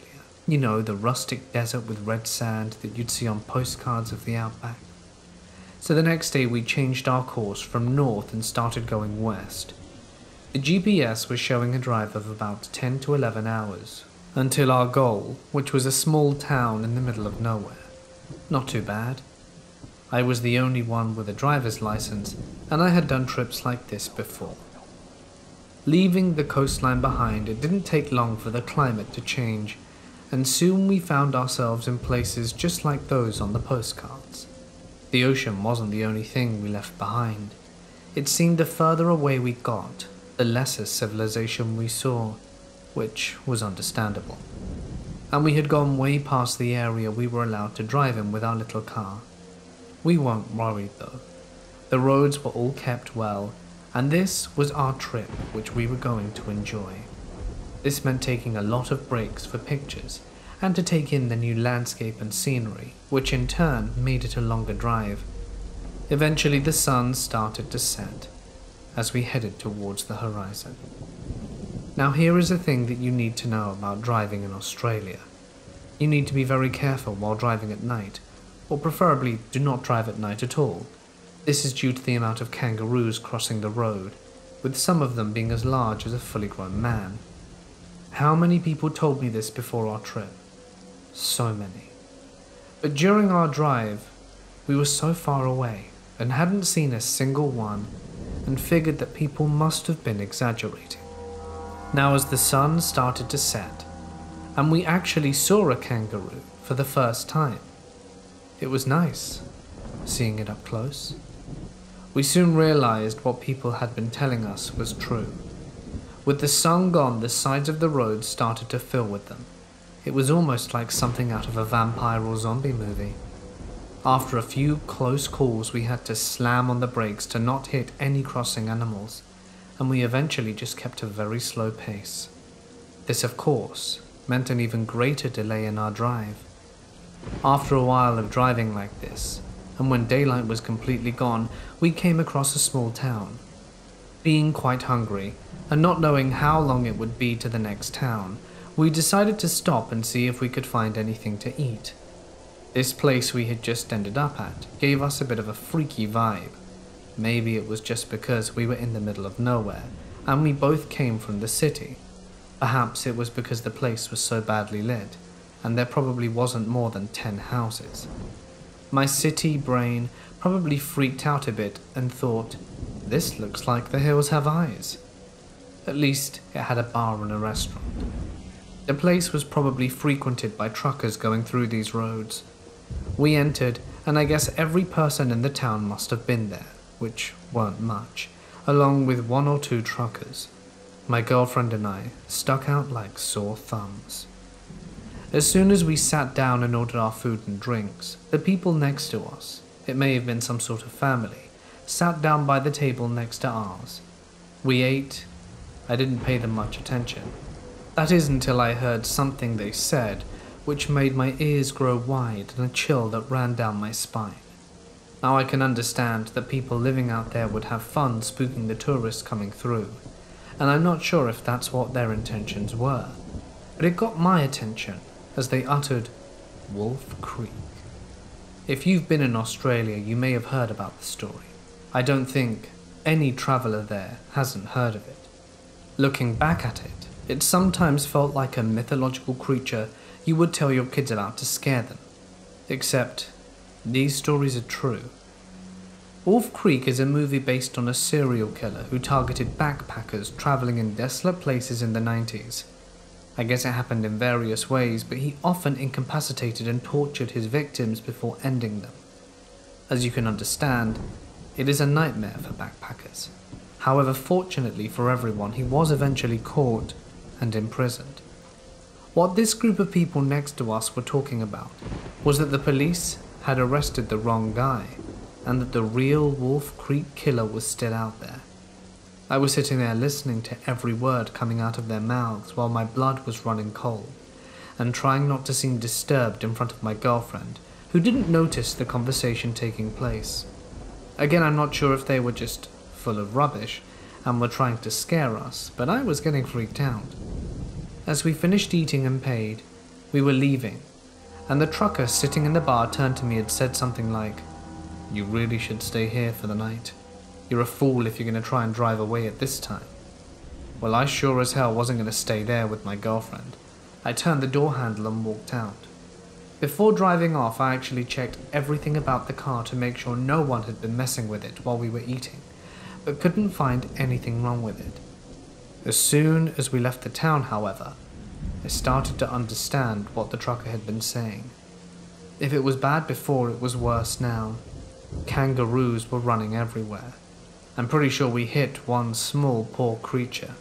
And I'm saying pretty sure because I didn't want to get out to check even if I did. That's how bad my gut feeling about this place was.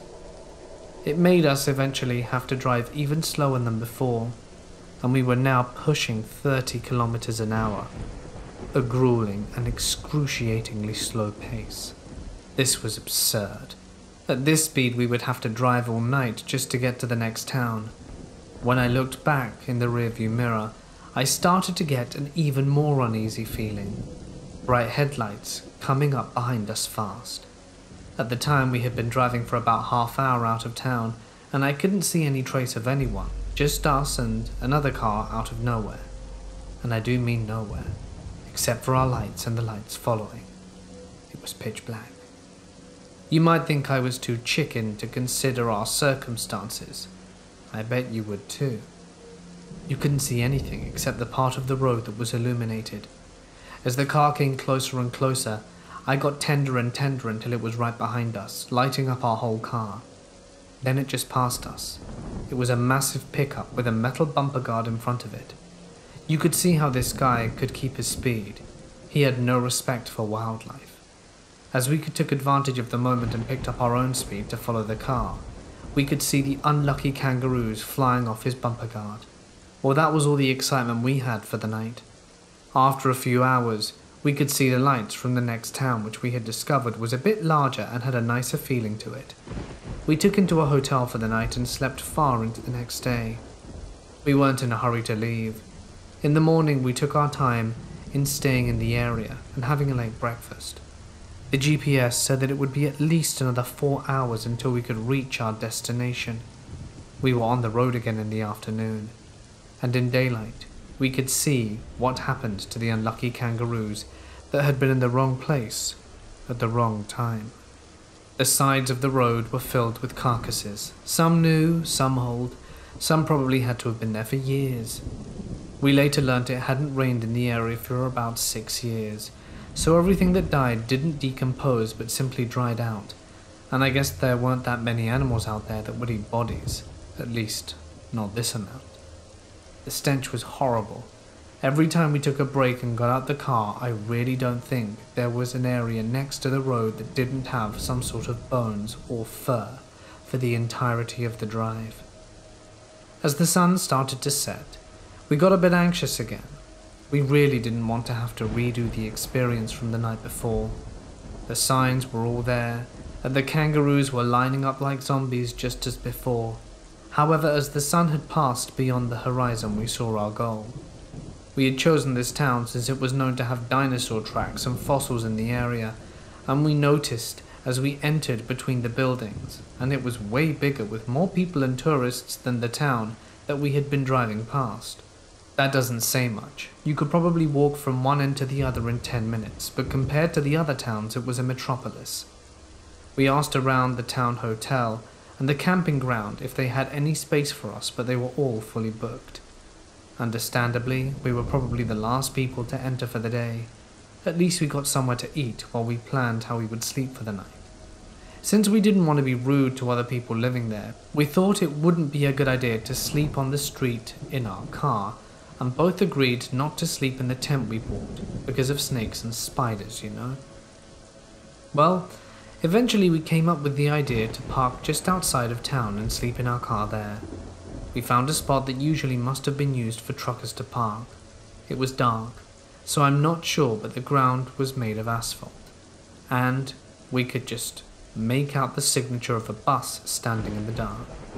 The bus driver must have either slept in there or in the hotel. In front of us was the town, illuminated by the streetlights, and behind us was absolutely nothing. It almost felt like being on the edge of drifting into the universe.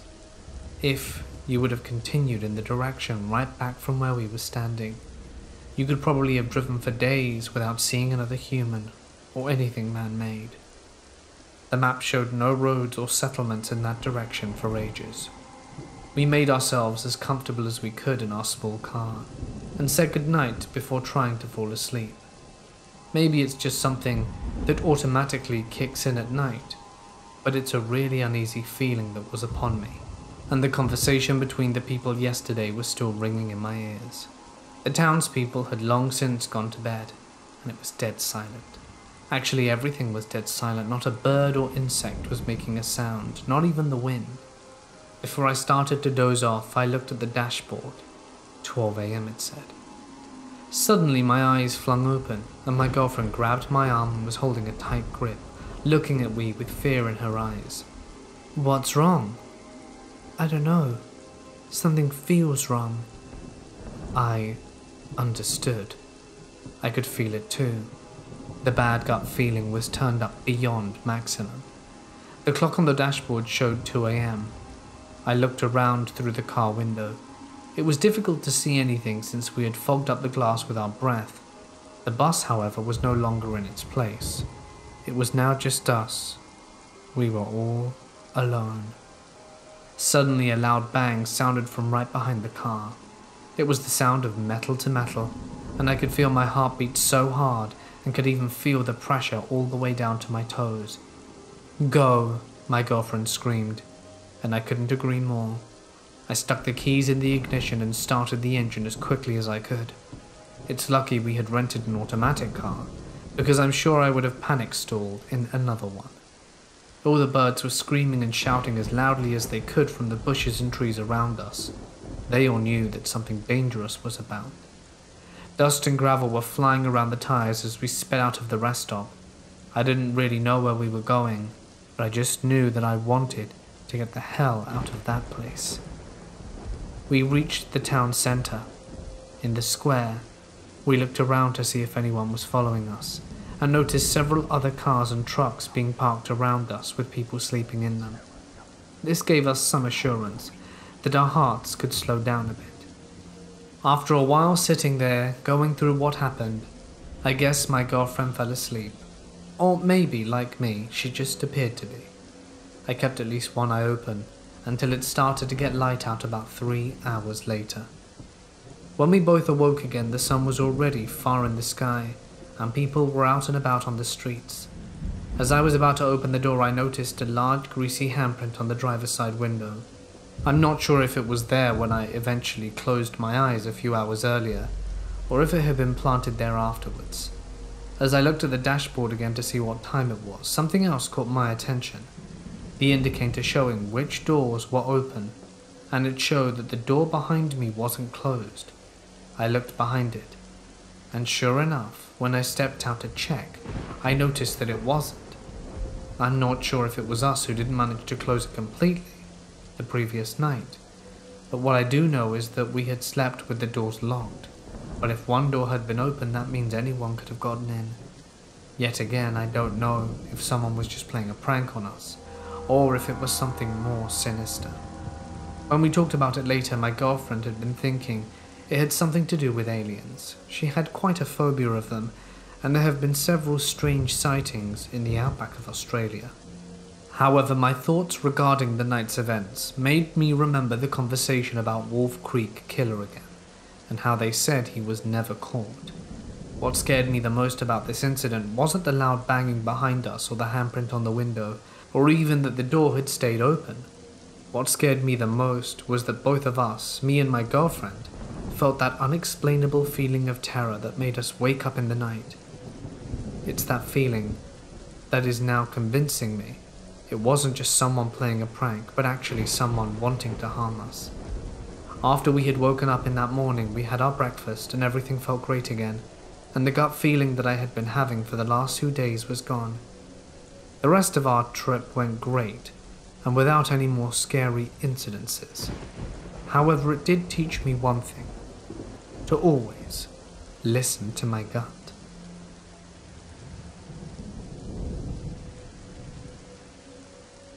This happened about three years ago, right at the height of Pokemon Go's popularity.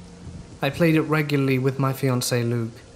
We decided to get clever and instead of walking to make our eggs grow or whatever, I would just drive around the residential streets slowly at 15 miles an hour. We always drove the same path and did this several times. At the time, we lived in a very small, one traffic light town. The town was primarily low income families and we usually played Pokemon at about 10 to 11 pm, as did several other locals. Without other entertainment, it was a fairly popular game around town. This night in particular, I'm driving at the normal path with Luke. We're catching sick Pokemon left and right and hatching eggs like crazy. We pause in the water department's parking lot to catch our 217th Ekans and drive for 10 more minutes and park next to an empty lot. Across the street is a normal residential landscape with houses and whatnot. I'm catching my first Pikachu and am stoked as hell when some guy drives by in a beat up SUV, slows down and asks me if I'm okay.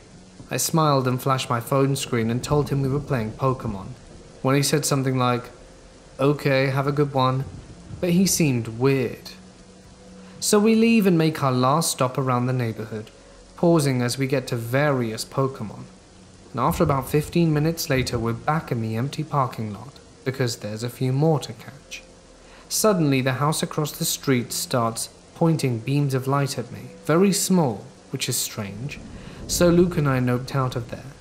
As soon as we did, the beat up SUV is behind me again. I didn't even see where he came from, and I turn onto the main road to head home. And I didn't even realize anything was wrong at first. He pulls up next to me and I can only see a male driving and a female passenger. The driver is shining a blinding light at me through the window as we drive. At this point, I'm simply pissed.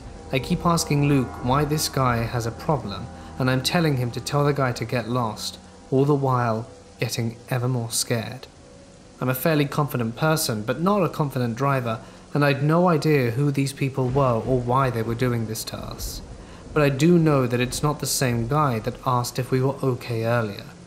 I don't want to drive home because I don't want to lead them to my house, but I had no idea what to do and decided to drive to the police station, but there was no one there.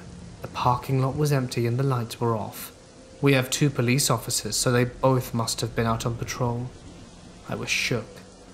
I was raised in a large city, so tiny town living and no police at a station was a very foreign concept to me. I had no clue what to do, so I drove to the little hospital and managed to lose them. My fiance and I immediately changed seats without speaking, and we sat there for 15 seconds and then pulled out. He's behind us again, and he's aggressive, so I called 911 at this point and began crying to dispatch, telling them there's a crazy guy following us. At this point, Luke is flying through the town at random, running red lights, speeding at 70 plus in residential areas, tearing through people's lawns, and this was seriously as insane as it sounds. Everywhere he went, the follower went too.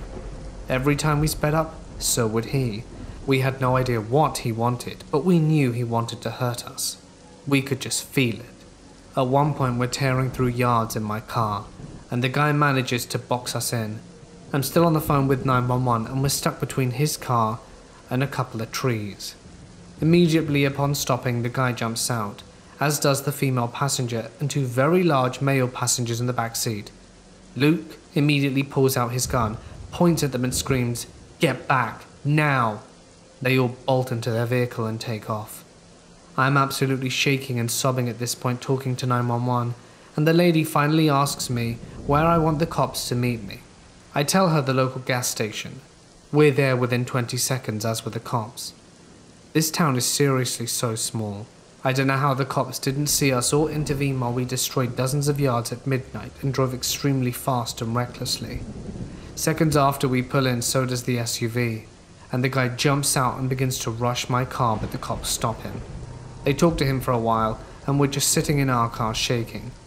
The older cop finally walks over to us and says, So did one of you pull a gun on him tonight? We were shocked. That was the only thing he asked us. We told him yes and explained everything. The cops went to speak to him again, came back, and basically said the guys thought we were casing his home because he kept seeing our vehicle pass it. The cops told us we were lucky.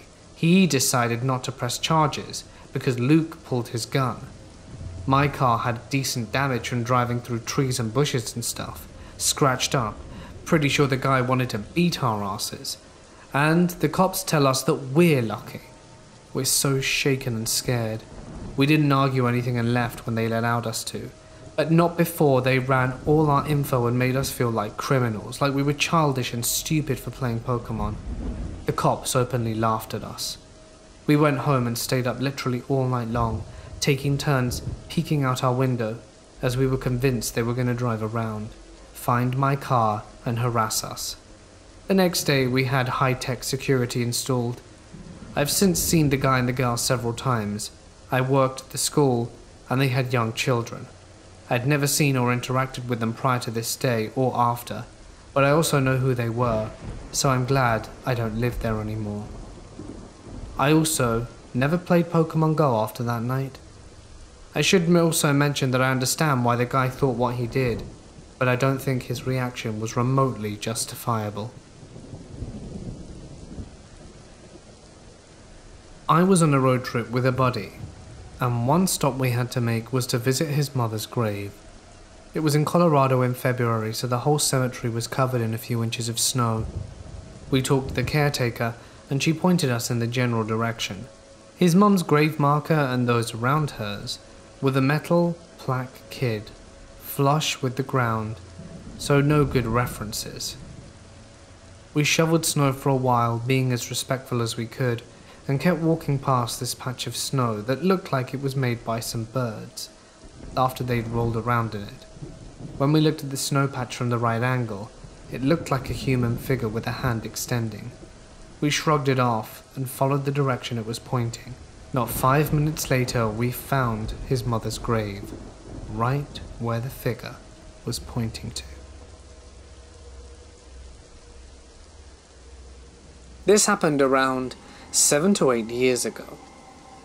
I remember the events leading up to this in great detail, and I'm interested in what other people think of the situation. At the time, I was 17 to 18, and I had a little Russian doll on my bookshelf that my mum got me from one of the friends she made in Russia when she studied abroad there. It's super tiny, about 3 inches tall a female dressed in traditional Russian clothes. The doll was sat atop a shelf, about three to four inches back, and behind something else. Now, ever since I was little, the hallway upstairs creeped me out. My bedroom is up at the end of the stair hallway, and the hallway leads up to my bathroom. In order to go to the restroom at night, I have to go through the end slash corner of the hallway it kind of started subtly. Occasionally, around the ages of six or seven, I would wake up to find something had fallen. I had a 3D heart puzzle on my makeup box, and I would wake up to find it had fallen on my dresser and split right down the middle. Sometimes I would wake up to find the tiny doll lying face up on the floor. This is where I started to get a little bit creeped out. The doll was set further back than it was tall. If it fell over, wouldn't it have fallen onto the floor face down? Why always face up? This is where things got really freaky, and I'm still really creeped out by it all these years later. I was heading upstairs to the aforementioned bathroom, and I turned on the lights to the hallway before I walked up. Like I said, the hallway always freaked me out. And the lights turned on and then flashed out. When I flipped the switches off, the lights flashed back on and then off again. I figured, eh, it's an old house, whatever, and went to the bathroom anyway. The bathroom light switch did the same thing. I got frustrated by this, so I started to angrily flash the light switch on and off very quickly. During one of the bursts of light, I saw a young man in his early twenties standing directly behind me, with straightish black hair nearing his shoulders. He didn't feel super scary or dangerous or anything, but I still panicked told my dad that the lights were having issues, and when he flipped the hallway and bathroom light switches, the lights turned on with no issue. I still feel that awful creepy feeling of being watched in the hallways to this day. I felt like I've been watched my whole life while in that hallway. The heart puzzle and the doll started to fall a little more frequently after that. I was clearly not happy about it so when my parents were gone, I yelled for whatever it was to leave me alone. After that, the puzzle and dolls stopped falling. I even moved the tiny doll downstairs and out of my room. The awful part of the top hallway still gives me this super creepy feeling though, like I'm being watched. I've had friends who've stayed in the guest room downstairs and say that they felt like someone was watching them all night, and that they heard lots of creaking noises. What this comes down to is am I safe? I mean, I've grown up in this house, but is this ghost slash spirit slash whatever biding its time? Or is it all my superactive imagination? Is it just me being paranoid about seeing things that aren't there? Or is this a nice ghost? Or are there other things I need to worry about? I'm just scared. Scared of being judged. I'm curious what people think. Did the ghost actually leave? Was he not real to begin with? Do I need to worry?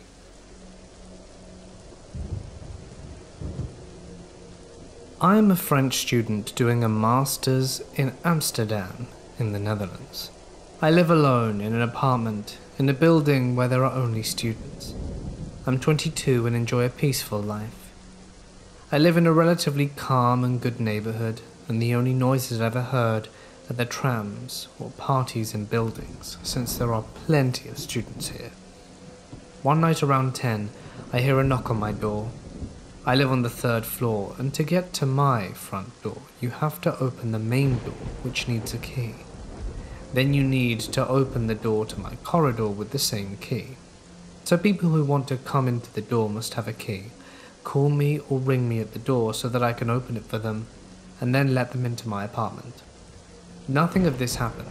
I just hear a knock on my door one day. I usually open the door without a second thought, whether it's my landlord or a neighbor asking for something. As I told you, I feel pretty safe in the building, and I could also take care and defend myself in case anything happened, but this time for some reason, I had a bad feeling. I didn't move at first, I thought the person would just leave. I'd finished my assignment, however, the knocking continued. I didn't move at first, I thought the person would just leave and I'd finish my assignments. However, the knocking persisted for 30 seconds, so I yell out, Yeah? in English, and the person knocking didn't say a word. I say in English again, Who is it? The voice answers in English, It's Uber Eats, which is weird because Dutch, always speaking Dutch, and I recognize the voices and accents of everyone on my floor who have access to this floor. So it wasn't a neighbour, it wasn't my landlord, it was someone coming from Uber Eats apparently. But the issue is I didn't order Uber Eats that day. The voice was unfamiliar in case it was a prank or neighbour pulling a joke. It was also a deep voice, at least 40, and definitely a smoker. I didn't order anything. You must have the wrong address. A few seconds later, the knocking continues, and the same voice says, I'm pretty sure you did. I have an order under your name. I start panicking. I look around and pick up a knife in case he breaks the door because the knocking was getting louder and fiercer. I check if the door is locked and it wasn't.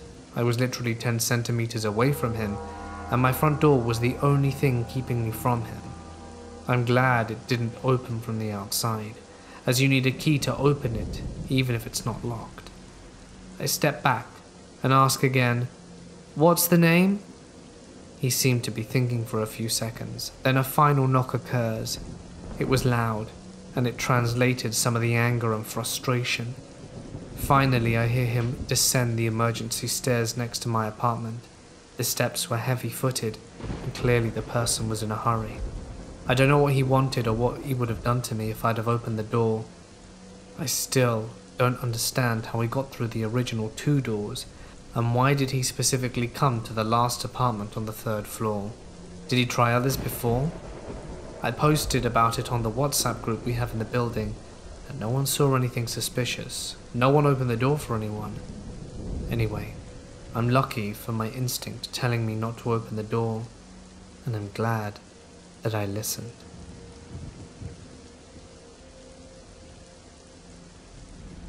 My aunt has always been a lover of creepy things. She likes gory, spooky, haunted things.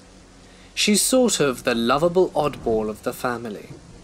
She's always been crazy about these things called living dead dolls.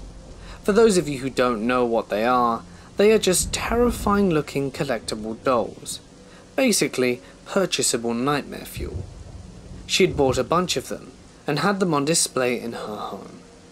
I've never been a fan of dolls, let alone ones meant to be scary so this creeps me out a lot. She ran into some financial trouble and decided to start selling things on eBay to make some extra cash for bills. As much as it broke her heart, she decided to sell one of her more popular living dead dolls on eBay. Almost immediately after she posted the doll, there was an offer. She gladly said her goodbyes, boxed up the doll and mailed it. No problem. A week or so later, she got the box back, in the original packaging she sent it out in, but with a note saying undeliverable address, meaning she must have written it down wrong, or it wasn't an acceptable place to deliver a package. My aunt figured it was just a spelling error and didn't think anything of it. She didn't open the package, she just put it in her closet. She went on eBay to try and contact the buyer, and to her surprise when she logged on, she already had a message from the buyer saying how she got the doll and how much she loved it and couldn't wait to brush her hair. She also described the doll in correct detail. Yes, there was also a picture of the doll on Amazon, and my aunt was pretty freaked out. To this day, she still hasn't opened the package. It's still just sitting in the closet. But a few weeks later, as a special Christmas gift, my aunt let me open the box. The doll was still inside. My life hasn't always been the best.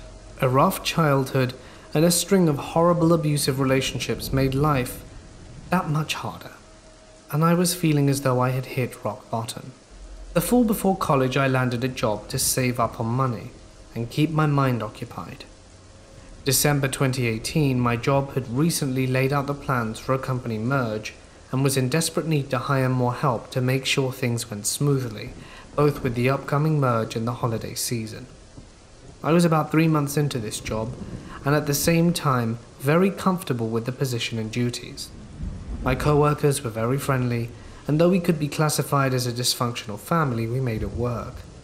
My boss had just hired a few more people, a couple of cashiers and a shift supervisor to get trained as quickly as possible and throw into the mess. All the new people seemed nice enough, and though I'm naturally a social person, I'm not very trusting. A week goes by and I'm put on night shifts with the new lead, and my first thought of him was, the guy seems pretty easygoing and harmless. But I was wrong. He seemed to be having a hard time adjusting, and to make him feel better, I would help him learn the job as best I could. He seemed friendly overall, always willing to help you if you needed it, and the regulars liked him. Everything was going smooth until my gut told me something was up. I personally wouldn't like to talk about myself because it makes me feel selfish, so my co workers' knowledge of my personal life is limited to what I'll be doing after the shift, and that I had a younger brother who came into the store often. So when this man started to mention things, I never told anyone at the job unless it was necessary, as I was uneasy. My first paranoid thought was that he had found my Instagram, which at the time was public.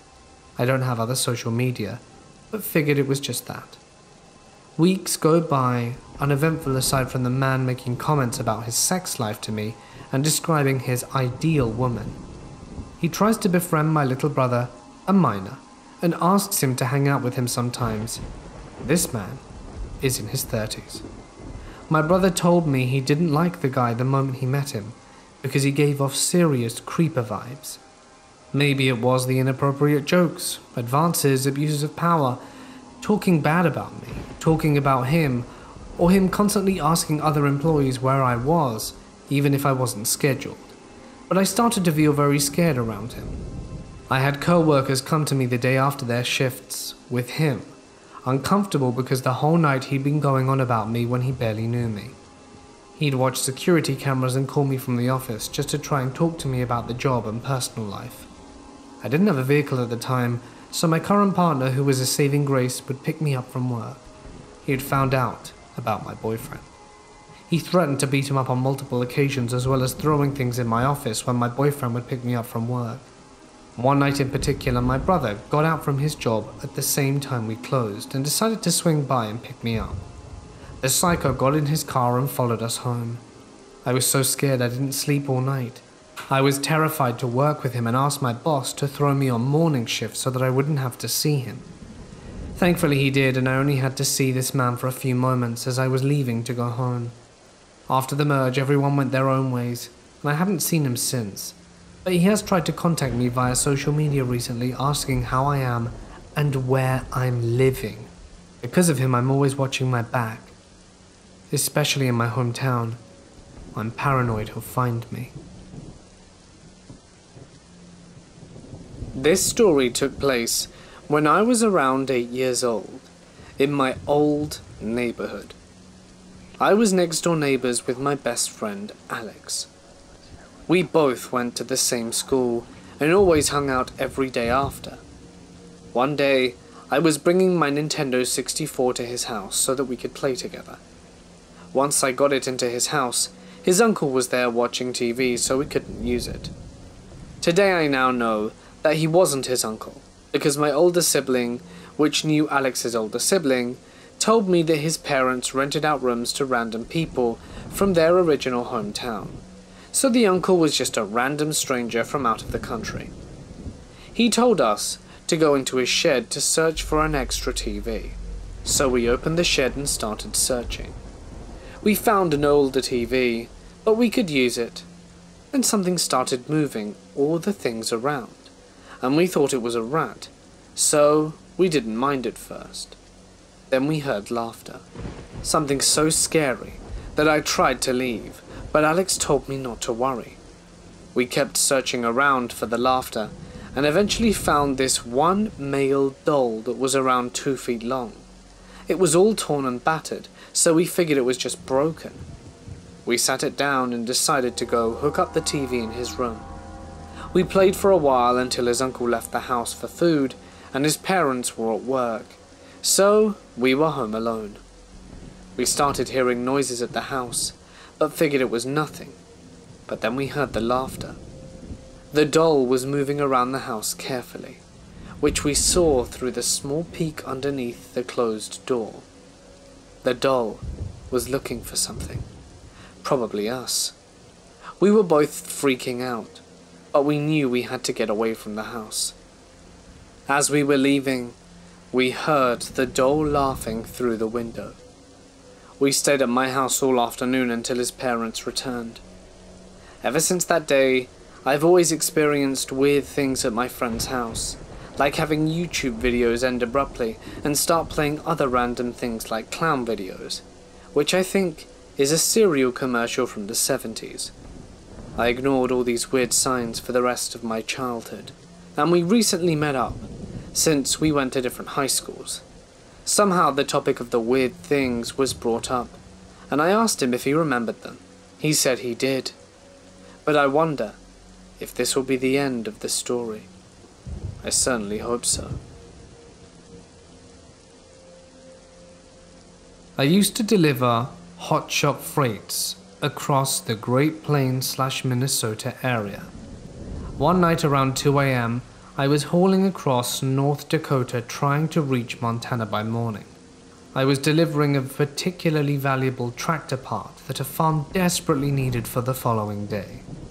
I began to notice some highway hypnosis sneaking up on me, but it didn't really bother me because I'd been through it hundreds of times before. Anyone who's driven across North Dakota knows that it's incredibly flat, like really flat, and there also tends to be very straight and long roads. It's somewhat easy to see things on the road as far away, even at night. I noticed something long on the road, spanning my entire lane approximately half a mile in front of me. I slowed down a little and prepared to move into the opposite lane, thinking it was some retread off a blown tire. As I got closer, I noticed it was two people laying head to toe across the entire lane. I swerved into the other lane successfully avoiding them and came into a complete stop, but they didn't move an inch. I was about to back up and check up on them when I remembered a story that an old grey-beard colleague of mine told me. He told me that in certain remote areas people will lie down in the middle of the road and wait for a car or truck to stop and see what's going on. At that point, the road liars, along with whoever else is hiding in the nearby bushes, will beat the crap out of the driver and steal the vehicle, leaving them stranded in the middle of nowhere.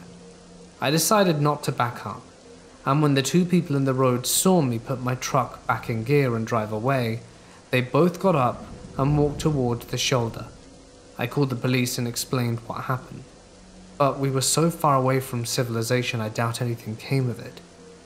Thanks to that old greybeard, I got to keep my truck, my job, my teeth, and my life. This happened a few months ago.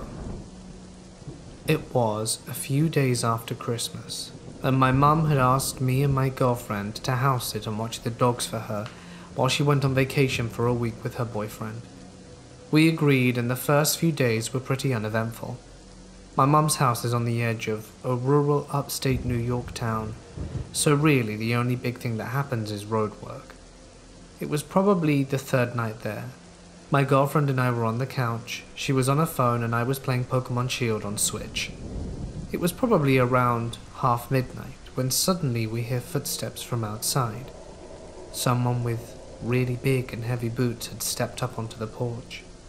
The way my mum's house is laid out is that there's a couch against the wall with windows on either side of it. On the other side of the wall is the front porch, so this guy was right behind us.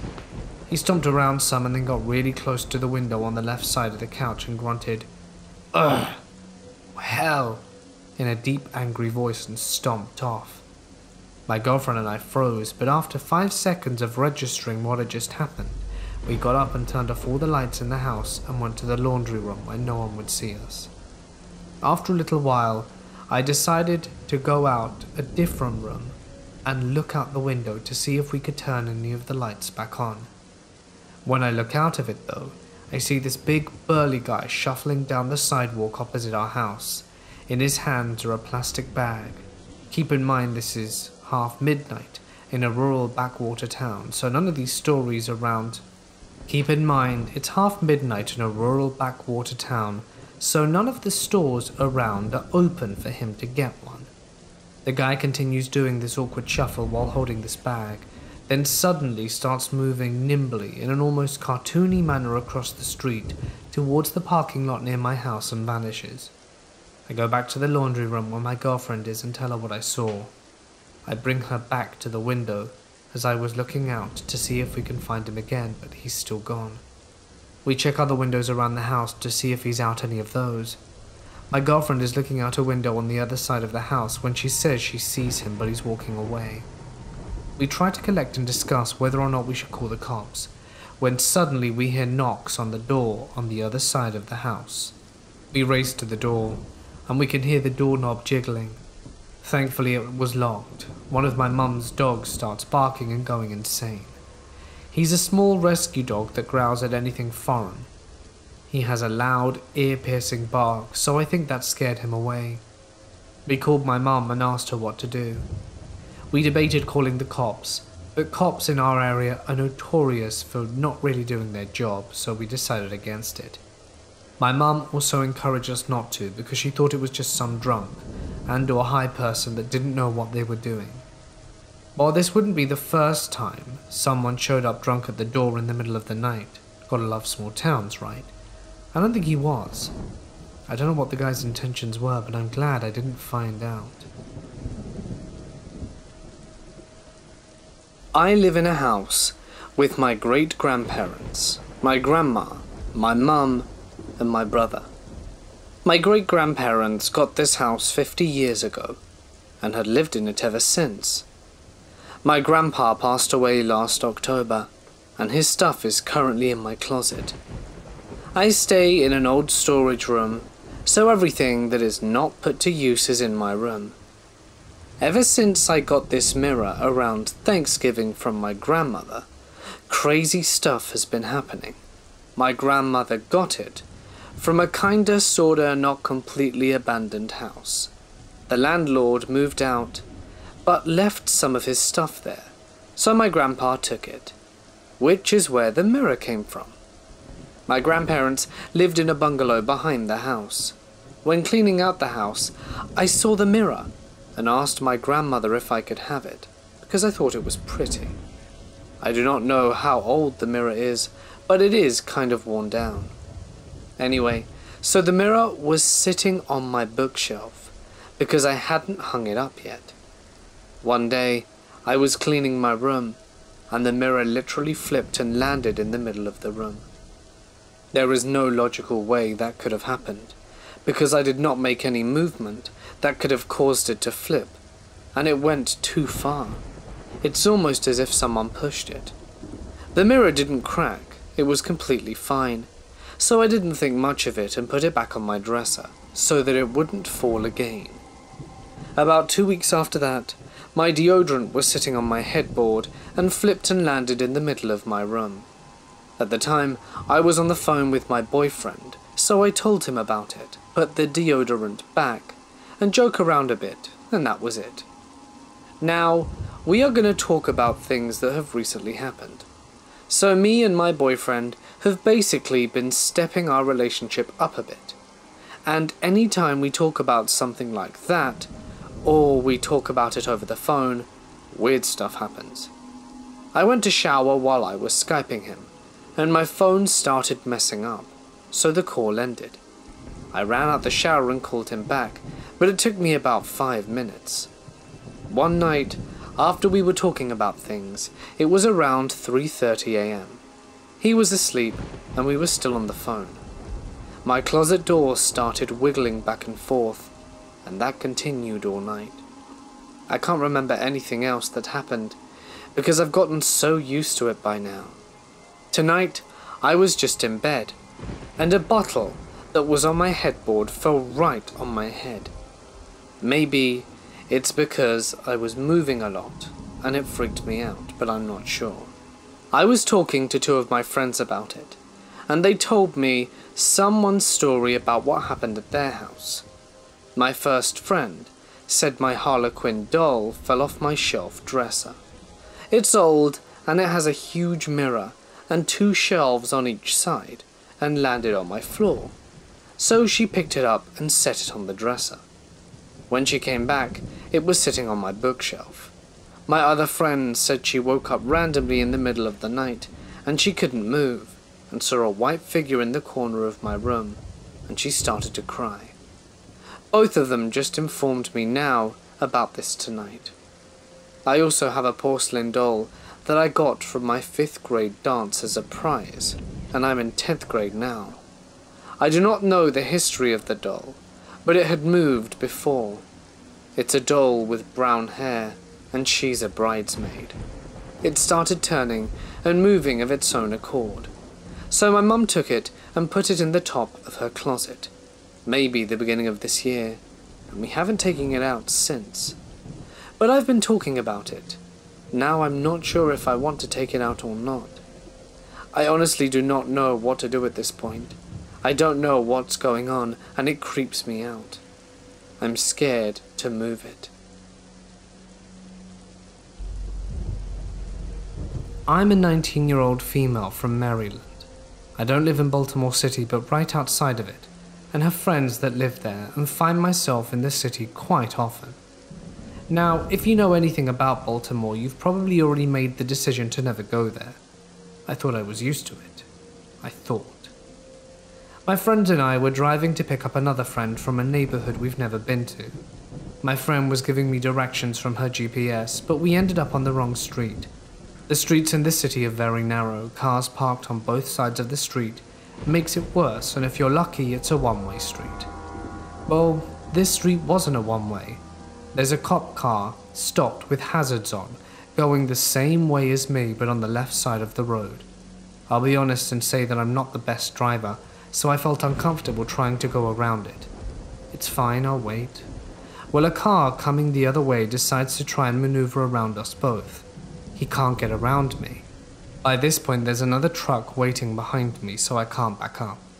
The guy trying to get around me tells me to back up, but I can't so I tell him to back up. He refuses, so I just sit there and can't stand up. Out of nowhere, I see a guy rush at my car on what must have been PCP, with a homemade wooden sword and nunchucks, eyes bulging from his head, hitting my windshield, telling me to back up my car so the guy can go through. I can't back up, but wouldn't try to fight this guy even if I did have a weapon of my own. He's clearly killed before with no remorse, and all of his neighbors went inside so they weren't a witness to anything that this guy was about to do. Turns out he's a heroin dealer that was mad. So many cars were pulling up on his block and hurting his business. So the crazy crack fiend with the bamboo locking sword, let's never meet again, and I sure as hell won't be going back there.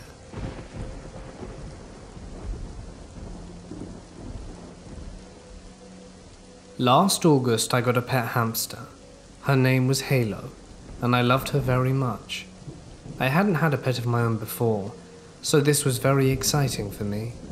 She was always a very observant little ham. She was always very curious and inquisitive. Heck, if she'd only been a boy, I'd have named her George because of how curious she was. Sadly, one day something fell in her cage, and she started acting funny. I noticed she was very lethargic, stopped drinking entirely, and my mum worried that she might have come down with wet tail, which is a deadly disease in hamsters that can kill them sometimes, in as little as 24 hours. It was a stressful period of time for one of two reasons. First of all, I was worried about taking her to the vet because it would put her under even more stress, and decided that when she got up for the night, if she didn't drink, I would euthanize her at home with CO2.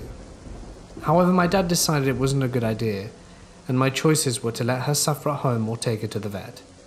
I was a stupid kid, and decided to sleep on it and let my poor hamster suffer, and I regret it to this day.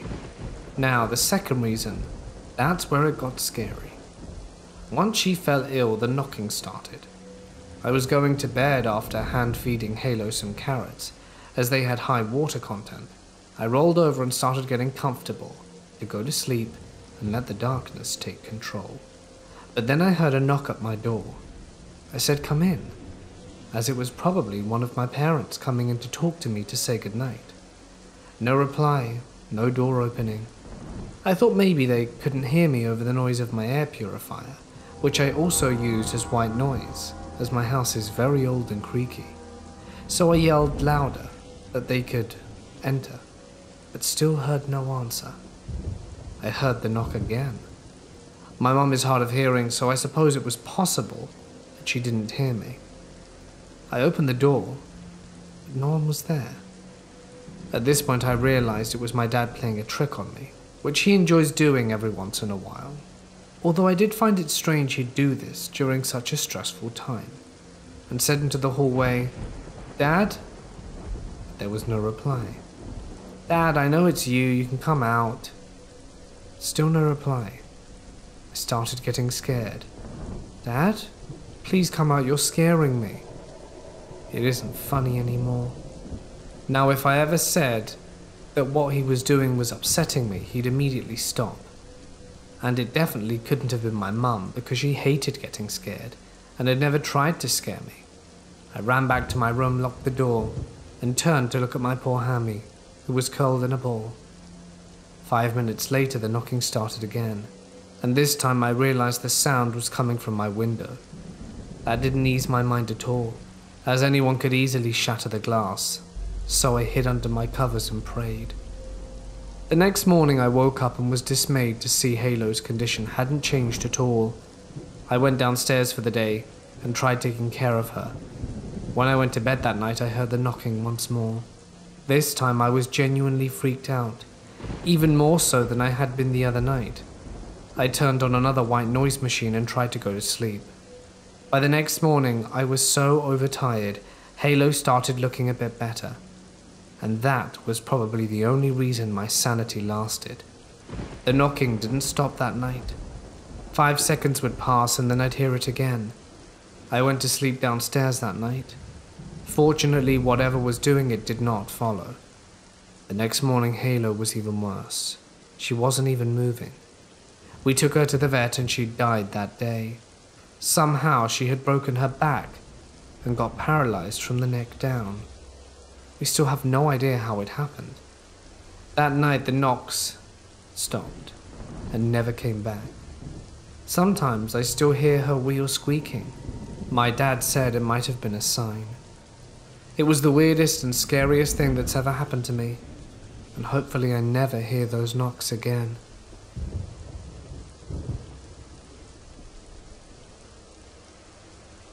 Today I was on my way home. I was about one mile from my apartment, cruising with my windows down, smoking a cigarette and listening to some Kendrick Lamar. I noticed to my right was a white car that had sped up to be next to me, but I didn't think too much of it. As I approached where I would usually turn left into my complex, I decided based on their behavior this wasn't the best idea. At this point, I still had not looked at the driver or looked over to acknowledge them. I continued past my usual turn and got to the next light, where again they pulled up next to me. I heard a girl's voice, so I assumed it was some girl, just talking amongst themselves, trying to keep up with me. After the light turned green, I started speeding up to a max of 80 to 85 down a residential road with only their car and my own. The car was neck to neck with me the entire time, not trying to race, not trying to overtake me or anything, but completely matching my speed. I think, okay, this is fun, because I'm going fast with a stranger. It's cool to experience it. But once again, I became wary when we approached the next light, and I decided to turn left to basically circle back to my house, thinking they'd had their fun and I had obliged long enough that she'd been next to me or following me for at least 10 miles at this point. They immediately switched two lanes over to get behind me. I turn left and speed up once again, and they once again match my speed exactly. I still have not looked at the driver at this point and want to get into the furthest left lane to be able to turn down the street towards my house, but she was directly next to me so I couldn't get over. We approached the lights and it's red. I slow to a stop and still don't look over. Pulling a drag from my cigarette and looking for a song to pick, I suddenly hear a girl's voice ask, Where'd you get your glasses? It's at this moment I decide to look over and see a single driver, a girl, most likely in her mid 20s, early 30s. The first thing I notice about her is a wide eyed stare. If you've ever seen a psychotic break in a person or drug addicted induced psychosis, you'd be able to know what I'm talking about. I went to college for psychology, so that plays a little bit into my decision of making this as well. I also noticed that her back windows were completely tinted. It was a pretty nice car, that also means she has access to money. After I made those assessments, I responded, Over there at the Vista station, or whatever it was, and she replies, Oh, and is still staring at me. Then she asks, Are you from here? No. I've been here for a while, but I'm not from Alaska. The next question she asked is really what put me into suspicious and alert mode. Oh, so you have a lot of friends? Actually, she made it more of a statement, not a question. Still wide eyed. At this point, I'm sort of like, alright. But then she asks, So what do you do for fun? Uh, well, I mean, I go to concerts. But this question weirded me out too, because it's like, it's been a pandemic. What I do for fun now isn't the same. Oh, okay, she replies and just stares at me. Then I wait for her to continue or something, and then I decide to ask, How about you? She replies, Oh, uh, I don't really do anything. I've never been to a concert. Right. At this point, the light finally turns green, and I think that's the end of it to suddenly hear, You're really sexy! Now, here's the thing I'm not one to take compliments well, so I awkwardly reply, Thanks, and then she asks if we want to exchange numbers while we're driving, and she's still screaming, matching my speed. I hesitate for a moment, but for the sake of the experience in the story, I say sure. She says, okay, and I pull forward and she pulls behind me. I drove for about two miles before reaching the point, basically where she had started following me in the first place. I pull into another little neighborhood that has an office and a parking area in front. I purposefully park in a spot so that she can pull up next to me and tell me her number on my left side. She then pulls into a spot basically two spots away to the right of me. Weird, I thought. It's about 5.50 or 6, pretty dark out, and I roll down my passenger side window. She rolls down her window and is staring at me and goes, What? I, I didn't say anything. So, do you want my number? She stares at me, thinking, and then goes, you just take my number. I pull out my phone and I look at her and say, Go ahead. She stares at me and she says, One second, and then reaches around for a maximum of four seconds before she sticks her hand out the window with a piece of paper. Come here, she says with the first smile she's had the whole time. Why, what's up? Come here, she says, still smiling, waving the paper. At this moment, I notice one hand is out the window waving the paper, while the other appears to be reaching into the door compartment below the window. Looking at her, I say, I don't know. Can I trust you? I mean, I don't see why not, she says with this look of total fake shock that I would say that. I don't know. I don't know you at all. Now, this might not sound like I'm overthinking things, but based on her facial reactions or lack thereof, I don't feel like she was hurt that I was weirded out, and that's a bit weird. At this moment, I say, Sorry, I watch too many YouTube videos because it's true. For the past five months, I've been obsessed with interrogation videos and other criminal investigations, and she just says, Okay, just give me your number. Are you ready? I say. She stares at me. I start listing it off, and she stares at me again. After I'm finished, her stare continues. Oh, and my name is Jack. Jack? She repeats. Yeah. She waves the paper again. You don't want it? No, just text me and I'll have your number. She stares at me. Okay. I then say goodnight, that I have to go, and she starts her car back up and basically pulls up behind me, stopping for no reason. I notice she's looking at my directions as I peek at my driver's side rearview mirror. I then start to reverse so she knows that I'm not sticking around and pulls out the way. I head home, park, and make sure no one followed me, and head up to my home. I don't know who or what was behind those tinted windows, and I don't know why she wanted me to come over there to get her number in 2020. Sketch. I don't know why she made the statement about me having a lot of friends. I mean, I can speculate, but either way, I think if I had made the wrong decision tonight, I could have ended up dead or somewhere I didn't want to be. Till this day, when I tell people about my breathing dull, they don't believe me.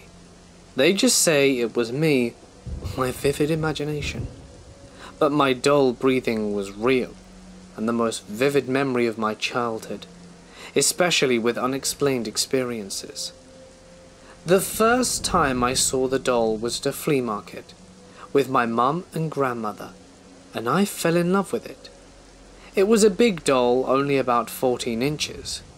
After begging my mum to buy it and failing, my grandma bought it for me. Man, I loved that doll like it were a real baby. I bought it baby clothes, shoes, bottles, and the like. Took him everywhere. I named him Rocky, and people often thought I was holding my baby brother. Well, one day, I was outside playing with Rocky, and I was being a little too rough with him, throwing him up in the air and letting him fall repeatedly, scolding him when he wouldn't sit up on my bike. So I got him and threw him as high as I could and tried to catch him, but he slipped through my hands into the ground. I picked him up to dust him off, and that's when I heard him breathing. It was heavy and angry and fast, like someone would sound if they were really annoyed. I threw him on the ground and stare at him shaking, absolutely terrified. I leave him there and run inside. My mum asks me what's wrong, and when I tell her, she laughs it off, as if it were nothing says I'm being silly and to go and pick him up and bring him inside. I refuse to touch him, and I screamed when she tried to force me. She gave up, picked him up, and looked at him and said, See, he's just a doll, stuffing in plastic. He's not real. He can't breathe. That was the last day I ever played with dolls. I gave him to my brother for a home economics project he had, where you can carry around a bag of flour and pretend it's a baby, or something like that. Anyway, he used its head and attached it to the back of the flour to make it more babyish. He ended up getting extra credit for that. A few years later, the whole Chucky craze and killer doll movies were all the rage. All the while, I had a real demon doll of my own. This happened a few years ago when I was bartending in college. I was coming home down a stretch of divided highway at 3 a.m. when I noticed a car heading towards me in the wrong lane. I doubted myself at first and thought the car was on the other side of the highway. But sure enough, a white Ford sedan passed me at a really high speed, at least 90.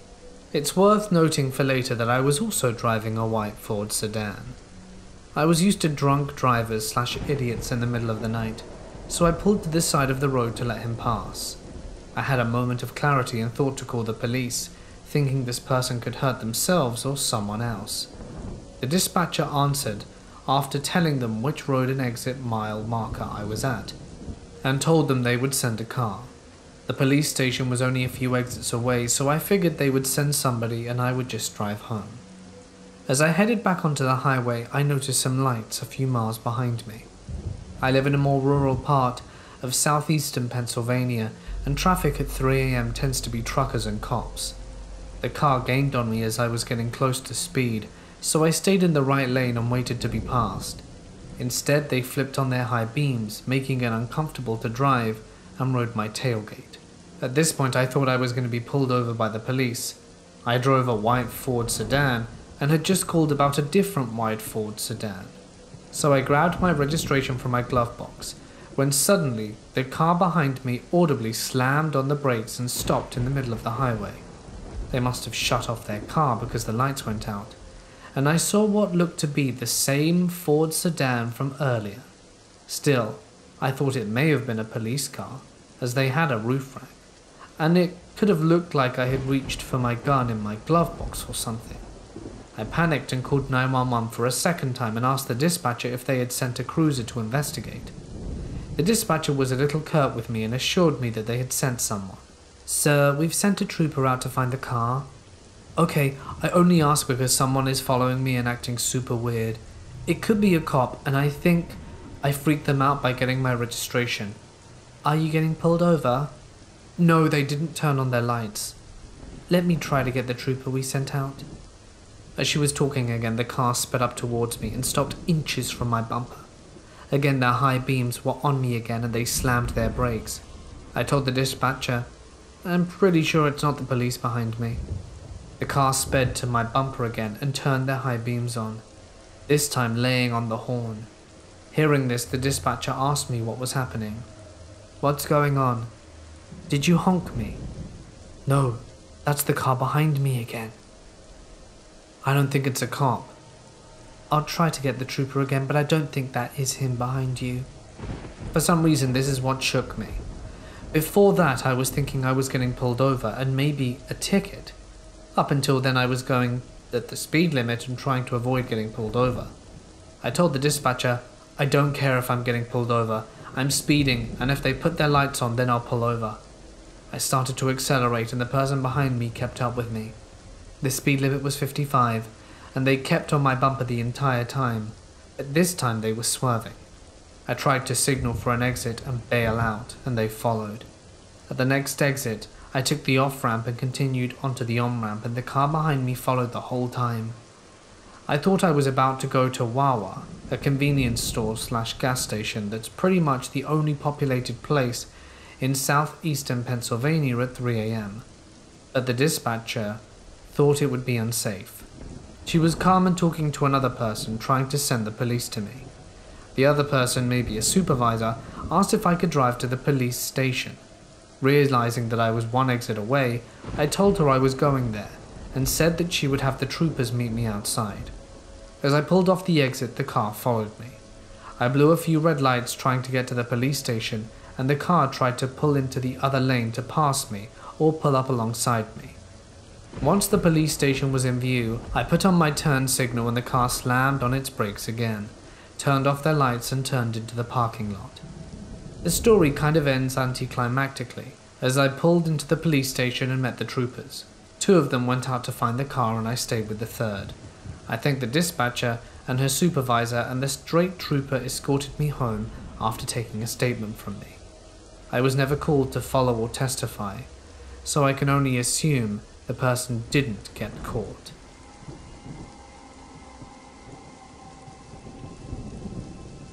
One night I decided I was going to take my mum's brand new car to go get my boyfriend.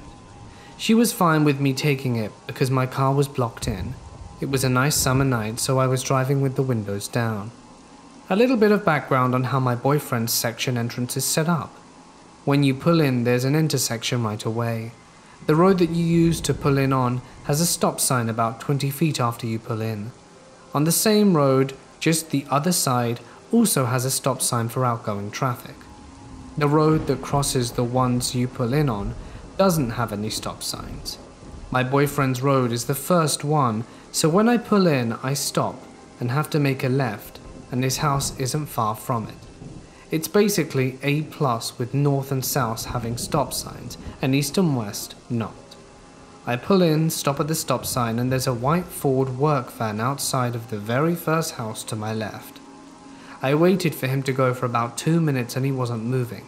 I figure he was waiting for someone to come out the house, so I slowly go up to make the left turn, and I turn past the van slowly, and because it was tight, I squeezed. When I'm passing at him, he yells, Hey! And that absolutely scared the crap out of me. So I quickly get to my boyfriend's house and have to parallel park because his driveway is taken up. Where I'm parked is across the street from his house, and once I'm parked, I immediately lock my doors and pull up my windows. I can see the van driver from the side mirror parked where he was, my boyfriend was outside working on his car, and I immediately call him because I was freaking out and didn't know if the guy was going to come around and try and take me or something. As the phone's ringing, I look in the mirror and see the brake lights go on. Then the guy starts reversing down the road at 50 miles an hour. This road has cars parked on both sides, and I watched him come up the street, and in my head I was like, Don't hit my car, don't hit my car, I can't get this car fixed. Thankfully, he doesn't hit anyone, but he stops outside my car. By this time, my boyfriend is right in front of my car and he goes up to the guy's window. This was the conversation. You okay? Need any help, mate? Uh. You lost? You need directions? Anywhere I can help you? He doesn't say a word.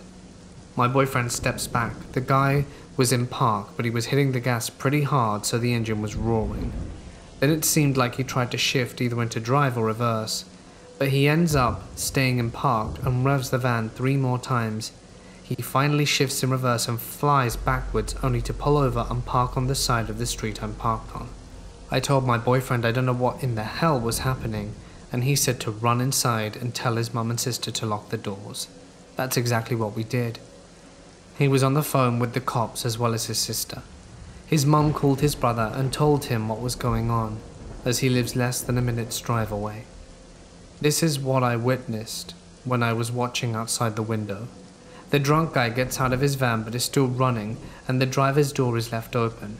He walks around my boyfriend's truck, pulls on the handle like he's trying to get in, then walks around again, then pats the truck's driver's side fender like it's a good dog, then walks back to his van, tries to get in through the passenger side, but I think it was locked since the door wouldn't open. And my boyfriend's brother comes round and screams at him. He must have scared him because the guy ran into his van and drove off right away. We all went outside and asked my boyfriend what he thought was going on, and he told me that when he asked the guy if he needed help, the guy wasn't making coherent sentences and seemed to be extremely intoxicated. He also said he thought the guy was attempting to break into his truck. This whole thing lasted about 20 minutes, and for the final 10, my boyfriend was on the phone with the cops, telling them the guy was doing some weird stuff and that he was drunk, and the cops said that there were three guys on the way but never showed up. A few minutes later, there was this family walking their dog and asked if we saw the crazy guy. They said that they saw him hitting cars that were parked, and apparently he crashed into a pole but reversed like nothing happened. My boyfriend later told me that the guy was speeding through his section at 90 miles an hour, and he went around it about three times. He had stopped outside of that one house, and that's when I pulled in and everything started. The guy never came back for the rest of the night at least. I looked on the local news sites and couldn't see anything about him. So I guess he got away with it. Weird, creepy drunk dude.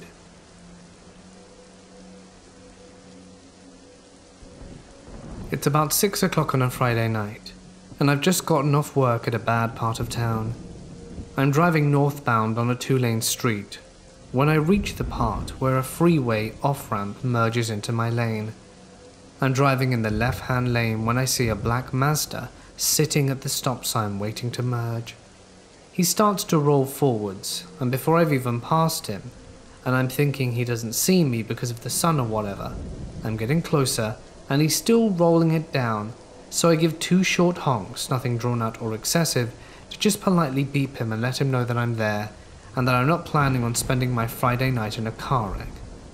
He keeps rolling, not even slowing down, so I simply drift halfway into the lane to my right and checking my mirrors beforehand and go around the front of his car.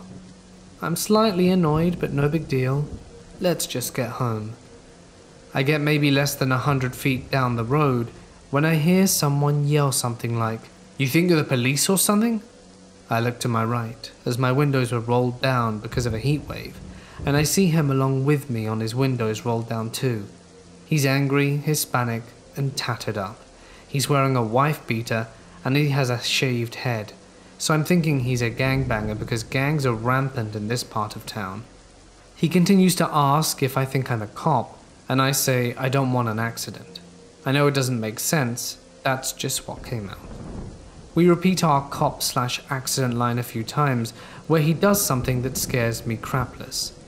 He takes his right hand off the steering wheel and reaches towards his waist, and I immediately think, this guy's packing heat.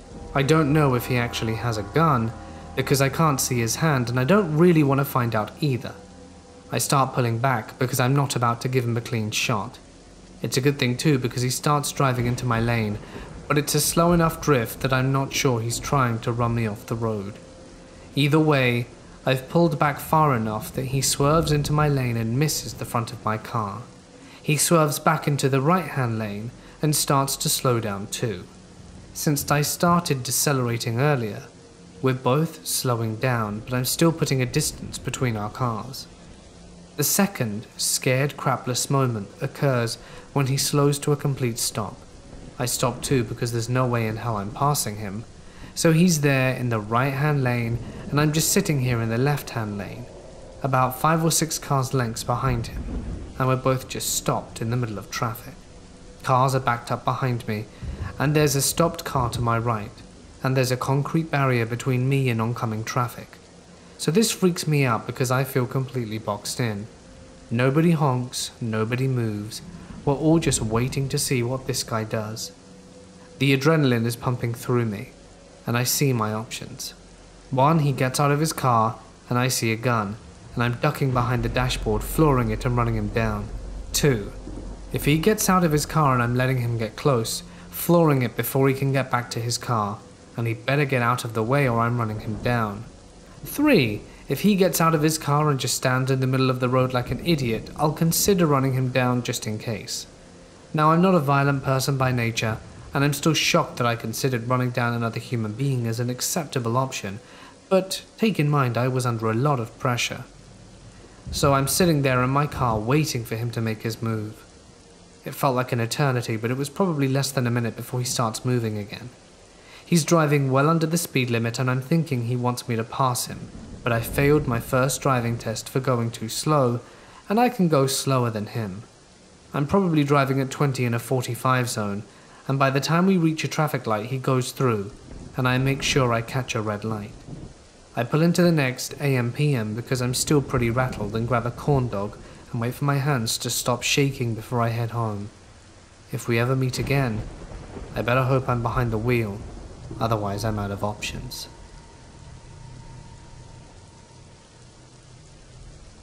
Last year, I signed up to work my local maid cafe for a big convention. I was so excited I landed a spot on their list. The maid cafe here is pretty kind of exclusive and runs the com business in the area despite there being another maid cafe. Around the time I got accepted, I had just started dating my current boyfriend a few weeks before the con. We're long distance though, and since we literally just started dating, he didn't have enough time to make it down here for the con. I was not shy about showing him off though. It was pretty well known I was taken before it even began. When I got there, I could tell the maid cafe was understaffed that year. See, because of some background stuff that I probably shouldn't discuss, the Maid Cafe was practically forced to open a second cafe spot at the same convention. I think someone said they had double the new hires. Anyway, because we were understaffed, training for the new hires kind of got pushed under the rug. It was fine for the first half of the day because we just walked around, advertised the cafe and stuff, but they had to throw us in at the cafe at some point. That's where I met my first customer. Off the bat, he looked very out of place. He was older than my grandpa, he had a black shirt with a wolf howling at the moon, and he was using a walker to get around. Had a big vase filled with what looked like roses made out of sheets of plastic, maybe cellophane. I'm not really sure what it was. I'm not trying to judge anyone who fits this description, but he just didn't look like the type to go to anime conventions, let alone the maid cafe. He was sitting there making the roses, and one of the butlers in charge of the new hires told me to take care of him. Mind you, I had like the absolute bare bones in terms of training. I did the typical maid cafe thing, took his order, got him some food and drink, did the little hand thing to charge up the food or whatever, and then sat and started to talk with him. He seemed nice at first, gave me one of the roses despite me being visibly uncomfortable accepting it, as I don't like to receive gifts from strangers due to past trauma. At this point, I didn't even let my boyfriend buy me things. Also, he wouldn't let me talk. He kept saying random facts and would always say, I bet you didn't know that. Not a lot of people know that. Mind you, I'm almost done with college. I'm an educated woman and feel pretty insulted. At the same time, I'm trying to get a word in because I want to keep up with the cafe's standards and prove to my superiors I can hold a conversation with strangers. I keep trying to talk, but I'm constantly interrupted. Finally, he says, Hey, do you know what third base is? I know what second base is, but I can't keep up with the kids in your lingo. Is third base intercourse? My mouth hits the floor. I guess he could tell the question made me uncomfortable because he gave me another rose. It felt very much like I was being bribed not to tell the other maids about that wildly inappropriate remark. But all it did was distract me from a very different kind of unease. I stayed anyway because I didn't want to be seen as a bad host or have him complain to my superiors. Then he started to talk about women. Again, I wasn't allowed to get a word in because if I would have, I would have a thousand percent told him I had a boyfriend. It feels like every time I tried to bring it up politely and casually, he would just change the subject, almost as if he knew I was simply waiting to say it. He told me he was always a loner, that women don't like him because he's an artist, and that he bangs beautiful women, women prettier than me. I bet my money he was expecting me to be grateful he was giving me the time of day when he could be out banging a total 10. Eye roll. But then he never stayed because women inherently don't like commitment. Like, I wish I could figure out what the hell he was talking about. Then, before I could reply to his mad ravings, he told me to give him my hand. I was very confused, and it was more of in a demanding tone. He told me to give him my hand. I tried to give him the hand with a ring that my boyfriend gave me to ward off creeps, and the older man said, No, not that one. I gave him my other one. God knows why I didn't just run away. I think I was scared I would be one of the ones who got in trouble for some reason. He opens up my palm and starts tracing the creases in it. I think he's doing palmistry or trying to. So I thought I finally had a chance to ease into conversation. I asked him if he was doing palmistry, to which he got really offended and said, No, I'm reading your aura. I know people who read auras and I've never seen them do it like this, but okay. This is probably the creepiest part. He tells me I'm vain, that I value looks, but I can look past it. Gee, thanks. That I value intelligent conversation and want someone knowledgeable in my life, and that I want someone who appreciates art like me. That I want someone generous and kind who can protect me. The nail in the coffin was when he told me I was suited for an older man. I wanted to cry because while he was describing my boyfriend to a T, I knew he was trying to tell me he was perfect for me and that I needed him in my life. It was like he was using it against me, and I think he could tell he once again made me uncomfortable, because he then told me I liked animals. He then said, I'll take you to feed the ducks sometime. A sentence that still haunts me to this day. And he wrote down his full name, three email addresses, and two phone numbers and told me to keep in touch so he can take me to feed the ducks. I ended up giving the cafe all the information he gave me before ripping up the card on my bed and crying in the hotel later. Thankfully, another customer came and I moved to sit in between them. You could tell the older guy was angry with the other guy. I tried to keep conversations with both of them, but the younger guy didn't talk much. He ate and left. Another maid started talking to the older guy, and I took the opportunity to escape, I mean, escort the younger man out. On the way out, one of the maids asked if I was okay. I guess the staff noticed I was uncomfortable. I did try to hide it. With a smile, I whispered I wasn't, and that I was going to have a meltdown. She told me to go on break, to which I did end up breaking down in the parking lot.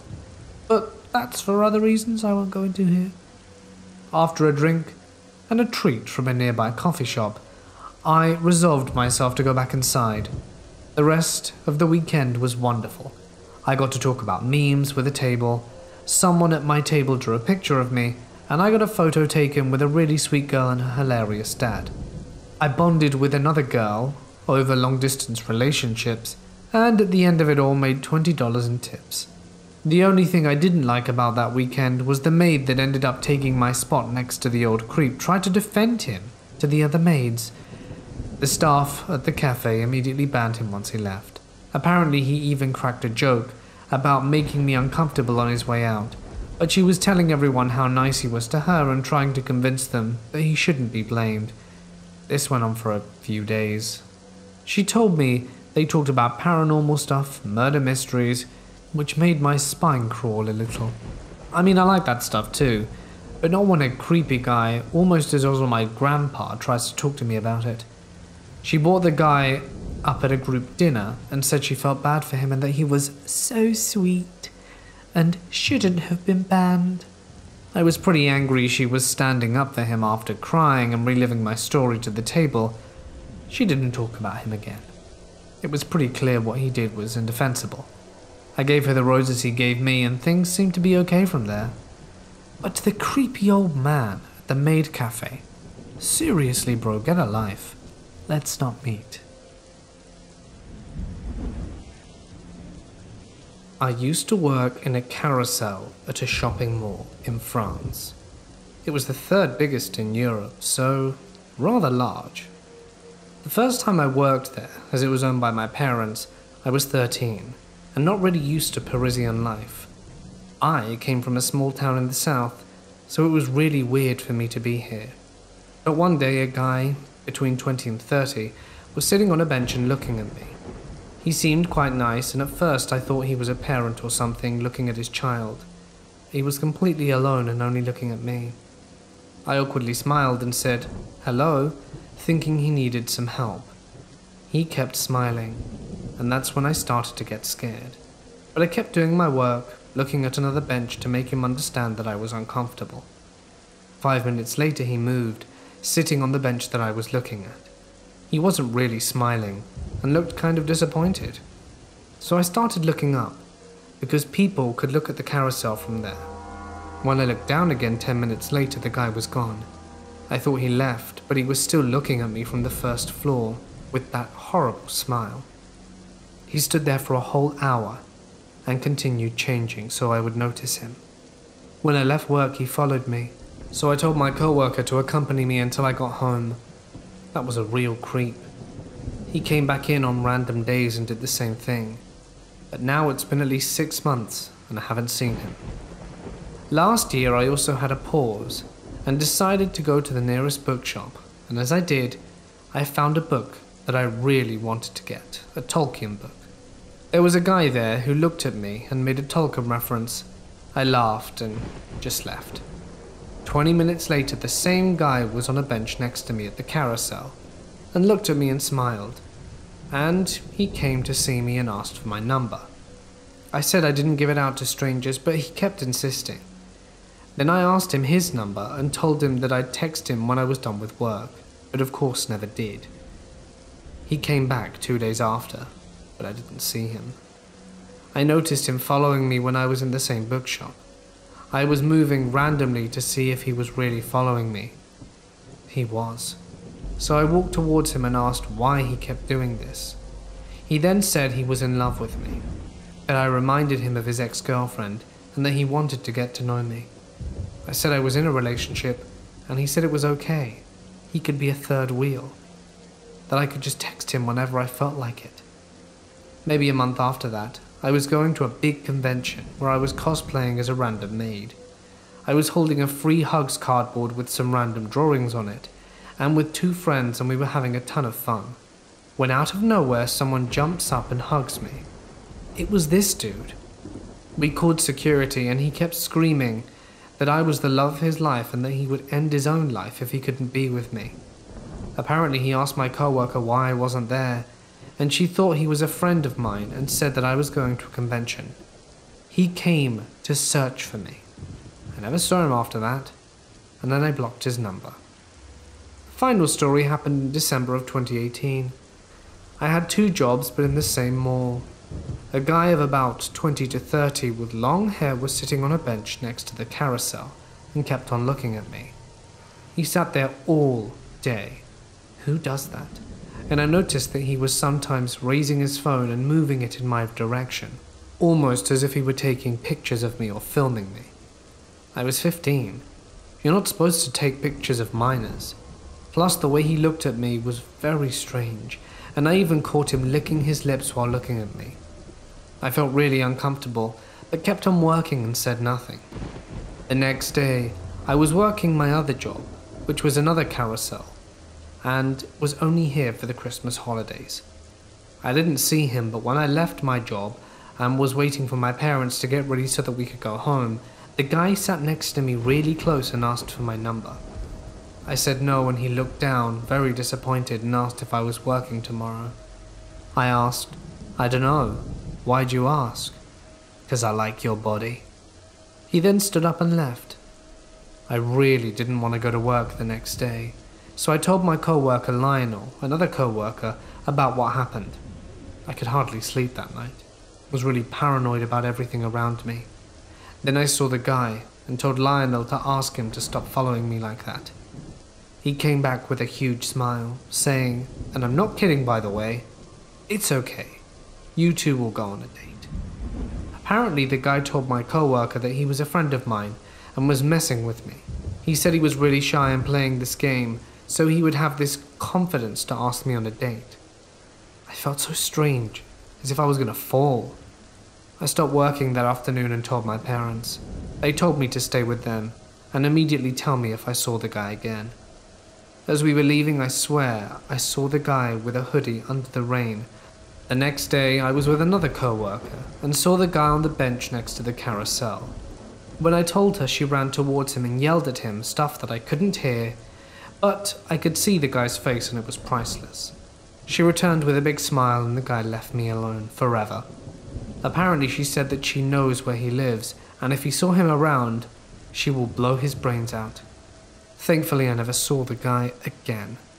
In any case, three creepers. Let's not meet. Three years ago, my wife and I purchased our first house, located in what is known as the wealthy area of the city. We wanted to buy our home somewhere nearby my mother's house, as she has lived alone since the death of my father. My mother was born in South Africa before the polio vaccine was available, and she was one of the many to be affected by the disease. She's paralyzed from the waist down, has spent her whole life on crutches or in a wheelchair. That being said, my wife and I wanted to purchase a house nearby so that we would be able to visit often and make sure she feels cared for, as well as having her independence respected. We found the perfect place within a five minute drive from her house.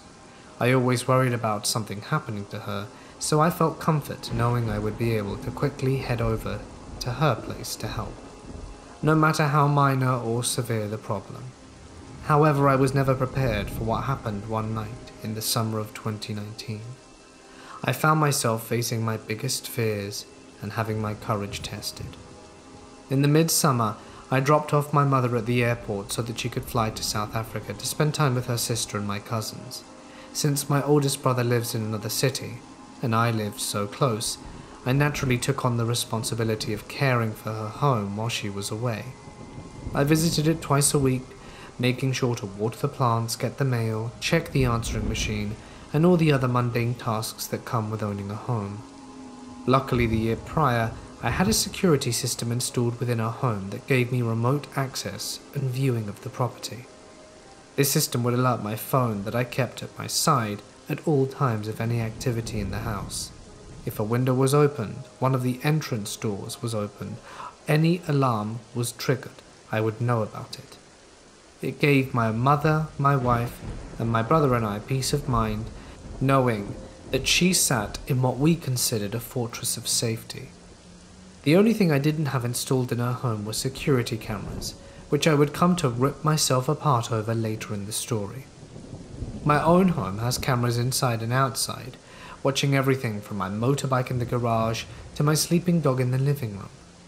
For some reason, I never thought to put something like that on the outside of my mother's house. Maybe it would be a bit much and an invasion of privacy. On the other hand, she and I would always know who was at her door and who was around her house. Fast forward a month, my mother is enjoying her time away, and things are going well at home. It was a weekday night when I came home from work, went to the gym, watched a movie with the wife, and got ready for bed. It sounds like a normal night so far, doesn't it? Well, just past 2 o'clock in the morning, my phone starts making a sound when it receives a notification from an app. I ignored this, thinking it was an email or Instagram notification, and tried to go back to sleep, as I average 5 hours of sleep a night and value it dearly. Shortly after dozing off, my phone goes off again, and again, and again. My wife rolls over and says, Turn it off, I'm trying to sleep. She always gives me crap about my volume being on at night, but I do it in case of an emergency or if my mother is trying to reach us. Thank God I left the volume up, because when I started to roll over to close the notifications I received, it hit me as suddenly as a car crashing through my living room. I had a series of notifications from the security system installed in my mother's house. Just then, the company who monitors the system calls my phone and I answer. The lady on the phone informs me that the home alarm is going off and the motion detector in the basement has picked up several time stamped instances of movement. she informed me that they dispatched a security patrol to my mother's house to check. With the lady still on the phone, I looked at the notification from the security system and saw what she was telling me. I checked the status of her door locks, and the system said all doors were indeed secured. Without looking any further, it hit me. Someone or something is inside the house right now. Keep in mind, I was abruptly woken up from sleep and was told my mother's house may possibly being broken into. I hadn't had the chance to shake off the mind fog yet, and therefore I came to the incorrect conclusion that my mother was in danger. I jumped out of bed and sprinted to the garage, only stopping to slide on my shoes and grab the keys to my car. Luckily, I had my pajama pants on because it was a chilly night. I didn't stop to grab a shirt, jacket, or any type of weapon at all in my rush to get to my mother's place. Fortunately, I kept a heavy duty flashlight in my car, similar to what policemen carry that I use for urban exploring. I put the flashlight on my lap, put the car in drive, and put the pedal to the floor. I nearly tripled the posted residential speed limit in my haste to reach the house. Let me tell you, nothing wakes you up more than trying to drive like you belong in the Fast and Furious crew. I reached my mum's house and noticed that all the lights were off as I'd left them. The alarm was going off and it was insanely loud. Neighbors were starting to come outside, but no security patrol cars were in sight.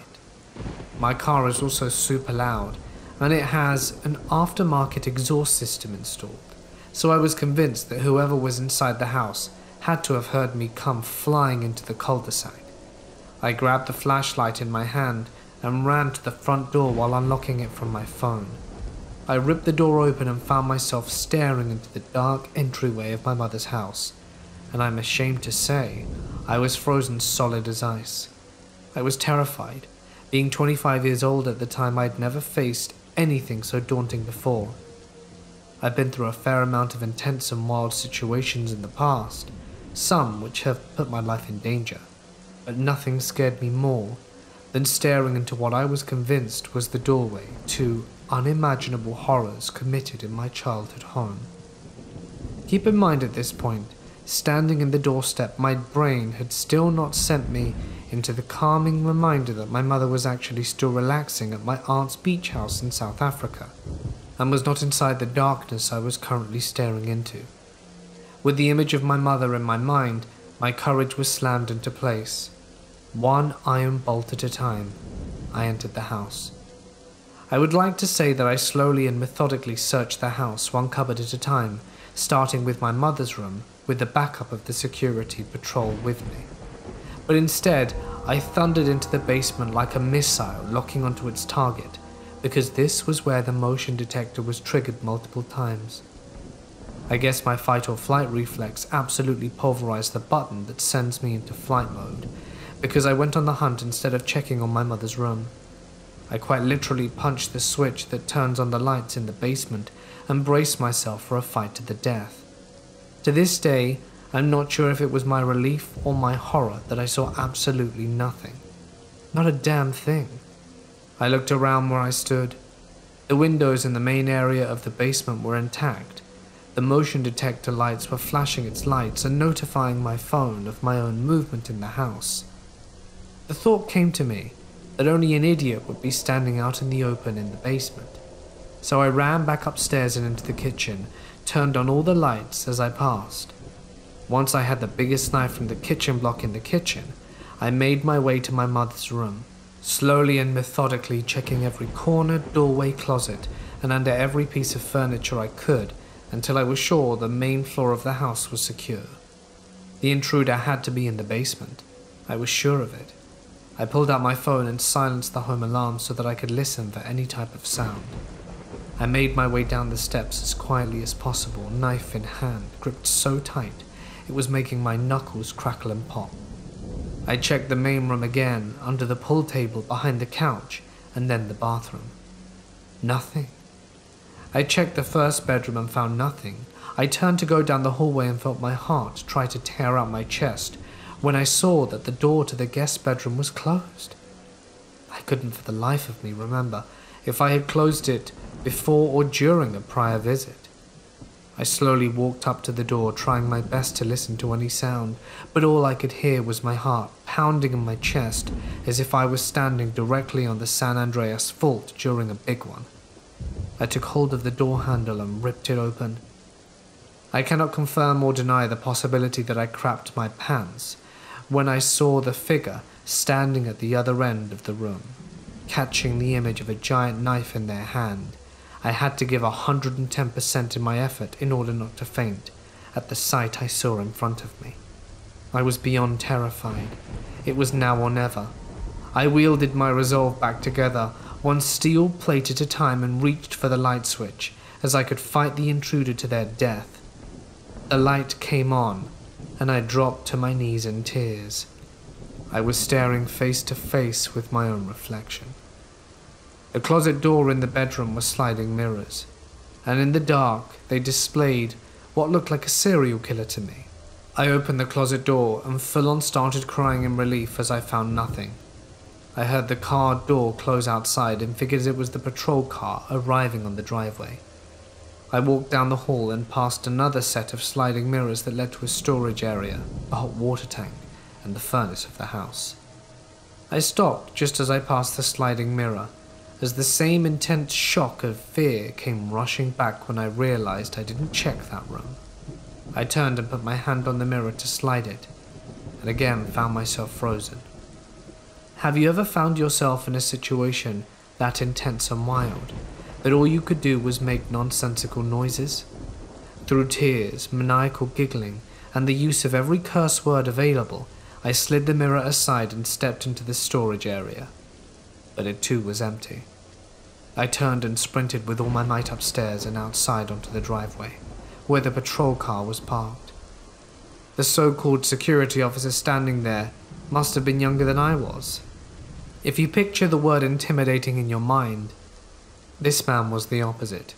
He was chubby, smiling, and had a mega baby face. He looked like he was there to greet you as you entered the house. I checked my watch and the man had arrived a full hour after I told the security company dispatched a patrol. I'm not normally someone who bashes someone who's a professional that involves risk and danger, but I couldn't believe how long it took them to get there. I started laughing like a loon when this guy asked me if everything was okay. Maybe the intensity of the situation I just came out of caused me to lose it. I explained to the guy I checked every crack and crevice of the house and found nothing, no thanks to him.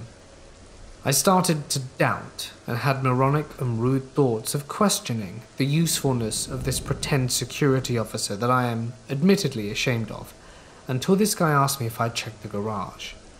My smart ass grin disappeared instantly as I grabbed for the garage door opener in my car and pressed the button to raise the door. Slowly it opened to make myself feel like a bigger ass I found myself standing behind the security officer as it did. The garage is very clean and well organized. I take pride in the fact that when you open the door, everything is in sight. The space is open and it's virtually impossible to hide in. I walked through it, peeking inside the car and then leaving the garage satisfied that it was empty. The security officer gave me some paperwork to sign, basically saying that he did in fact respond to the home alarm being triggered.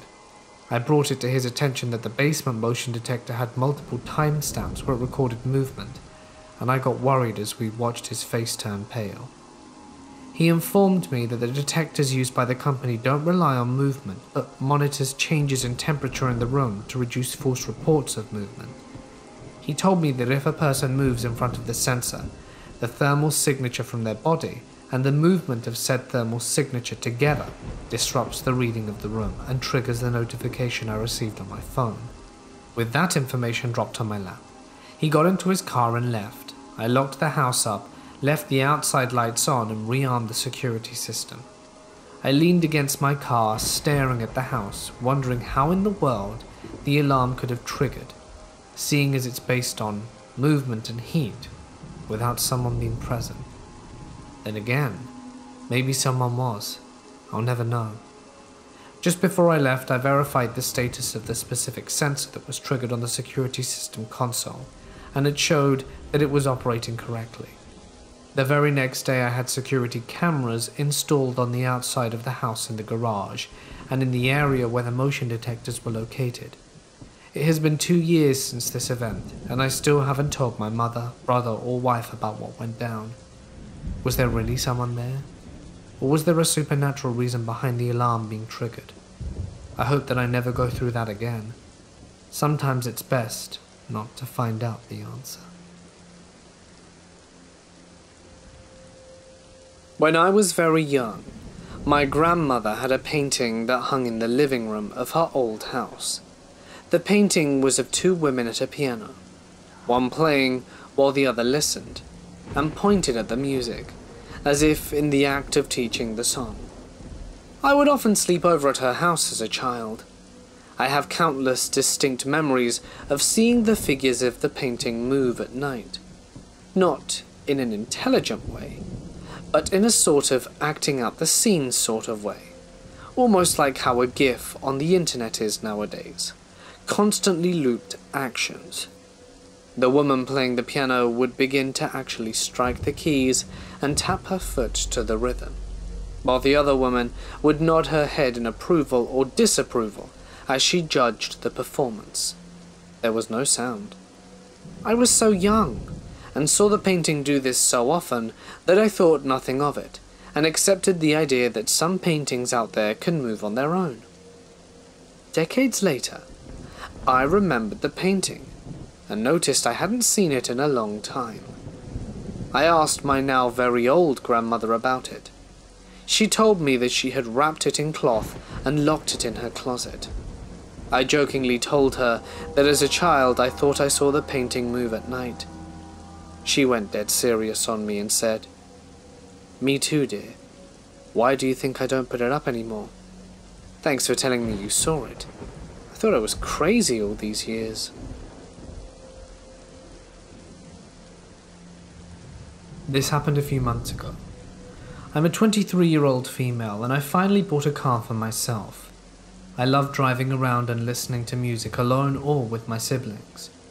This very night it was around 7 pm, winter time, and I took my two siblings, 18 year old female and 13 year old male, out for a drive after their consistent pleading because they were bored. Now I'm a smoker, and coming from a South Asian household, women aren't meant to smoke, so I took the opportunity to smoke without worrying that my parents could catch me. The city I live in has a good side and a bad side, and I lived in the very good side, or so I thought. A quiet, suburban area. I didn't hesitate to park somewhere, get out and smoke for a while while leaning against my car, as I don't like smoking in my own car, and scrolling away on my phone. I parked underneath a lamp post and got out and lit my cig, and all was well. It was dark, but I wasn't scared as I visited that road regularly and it wasn't too far from my aunt's house. As I lit up, I looked up from my phone and looked around to see a man walk out of the shadows from a bush. I didn't think anything of it. I see people going for walks all the time around here. He was at least six four, was on the opposite sidewalk, and I assumed he was just going to carry on walking, so I carried on looking at my phone until I look up to see him just standing there fully facing me and watching me. My sister in the car must have been watching him too and knocked on the window, telling me to come in. I had already butted out my cigarette and was making my way to my car door, keys in hand, and the guy was still standing there completely still. I got in anyway, locked my door, and breathed a sigh of relief, thinking perhaps I was just overreacting. I put my key in the ignition, and I turned to see where the guy was and I see that he's now behind my car, taking pictures of my car and my registration number. I rolled my window down the tiniest bit, and I could see his face a little clearer. He was of Indian descent, with a beard and hoodie over his head, showing some features on his face. I asked politely what he was doing, and he came towards my window but stood a bit of a gap away. In the most aggressive tone, he said, Do you know who I am? No. I didn't know whether it was rhetorical or not. I have a lot of stuff going on in my house and I don't need you here parking here watching me. You look real suspicious randomly parking here with your friends. Get the hell out of there. What the hell do you think you're doing? I nervously chuckled to myself, trying to keep calm, but my anxiety was already halfway through the roof at this point. I didn't understand how I looked in any way threatening, as I'm a small girl who's been told I look like a kid. I was in my pajamas and clearly minding my own business. Look, I just parked here to smoke. I come here all the time and live nearby. He got right up to my window, slid his fingers through the gap, and forced my window all the way down, screaming at the top of his lungs for me to get the hell out of here. I screamed in terror and told him to stop swearing as I had a minor in the car, and he was scaring him. I don't know why, I knew he wouldn't exactly care. He screamed and went red. If you don't get out of here now, I'll damage you in your car. My adrenaline was already hitting peak. So I was terrified, didn't even bother putting my seatbelt on, and jolted out of there in a panic. I went straight ahead at a junction leading me to a dead end, but I took that opportunity to just calm down. My whole body was shaking with adrenaline. I couldn't even keep my foot on the clutch. My sister was quickly asking me if I was okay before I could even answer. I see a pair of headlights zooming towards me. It was the guy going at least 50 miles an hour on a 20 miles per hour road. He nearly crashed into my car, but by some miracle he didn't. He jumped out the car, and this is when I realized my window was still all the way down from when he forced it down. I wanted to cry, and I quickly tried to shut my window, but he was too fast. He half threw his body into my car, through my window, and I screamed so loudly with his ear right next to my face, I'm sure I deafened him. He was trying to steal my car keys from the ignition. I thanked my lucky stars that with my car, in order to get the car keys out, I would have had to have had my foot on the clutch, which I didn't. With one hand, I was pressing down on the horn of my car to make as much noise as possible to alert the people in their houses, and with the other, scratched his hands away from my car keys and my poor siblings were in the car bawling their eyes out. My little brother had no idea what he could do to protect me, and my sister was in the passenger seat experiencing all of this in front of her eyes. I hurt the guy enough for him to get out of my damn car. I told you to get out of here or I'll hurt you. I told you. The guy attempted to pull up my door handle trying to open it and get in, and then I noped out of there. I didn't care that my body was half shaking like a fish out of water. My main priority was now the safety of my siblings and myself. I knew that we were making a loud commotion. I held onto the horn of my car trying to get the attention from other houses, but nobody helped. It was 7 pm, and I was certain that people would hear me screaming, but they all acted oblivious. I managed to wriggle my way out of that dead end and went to a new street, and to a totally different area and parked. I knew this probably wasn't a good idea, but I knew the guy wasn't following me as I drove around for a good 10 minutes. I just released my emotions, and me and my sister and little brother were just sitting there in the car sobbing away. This was the first time that anything like that had ever happened to me, or any of us. I rang the police and immediately wanted to punch myself in the face when the dispatcher asked if I got his registration. Of course, in my panic, I didn't. I wanted to slap myself in the face because I listened to these horror stories on YouTube all the time, and always felt they taught me how to handle certain situations, and I couldn't even bloody get a registration number. The dispatcher was amazingly empathetic, as was the female officer who called me the next day. As a woman, she understood how scary that must have been for me, and again I cried to her. Unfortunately, the cops informed me there were no CCTV cameras where it happened, so they couldn't really do much, especially with me not knowing where he came from. If he came from a house, and if so, which one, or his registration number. The female officer apologized to me, but it really was my fault for not mentally noting important information. They made a report of my attack, so if anything similar happened in the area, they can connect them. The officer said I most likely parked there and he was doing something illegal and freaked out on me. I just think he was a freak who enjoyed scaring people who looked like easy prey. So to the creep who tried to steal my car, let's not meet again.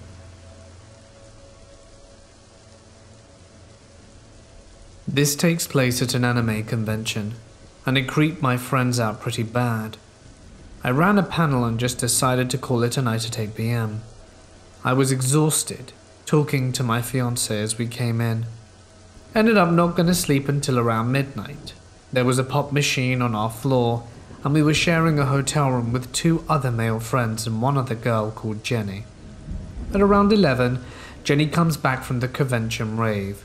She asks if I want a soda, which we went down to the machine. I usually don't carry cash, but this night I did.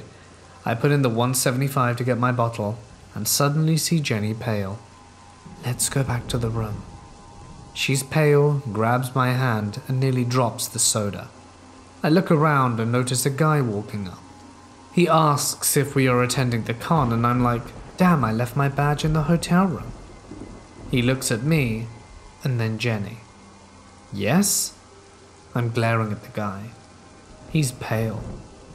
He had a con t shirt on and said he was doing security checks. Now I'm concerned because security checks only happen on the con floor, not the hotel halls or rooms. I suddenly realize he doesn't have a com badge that says security. He doesn't have a walkie talkie either, and finally Jenny sees me, gets some courage, and I demand to see the security director.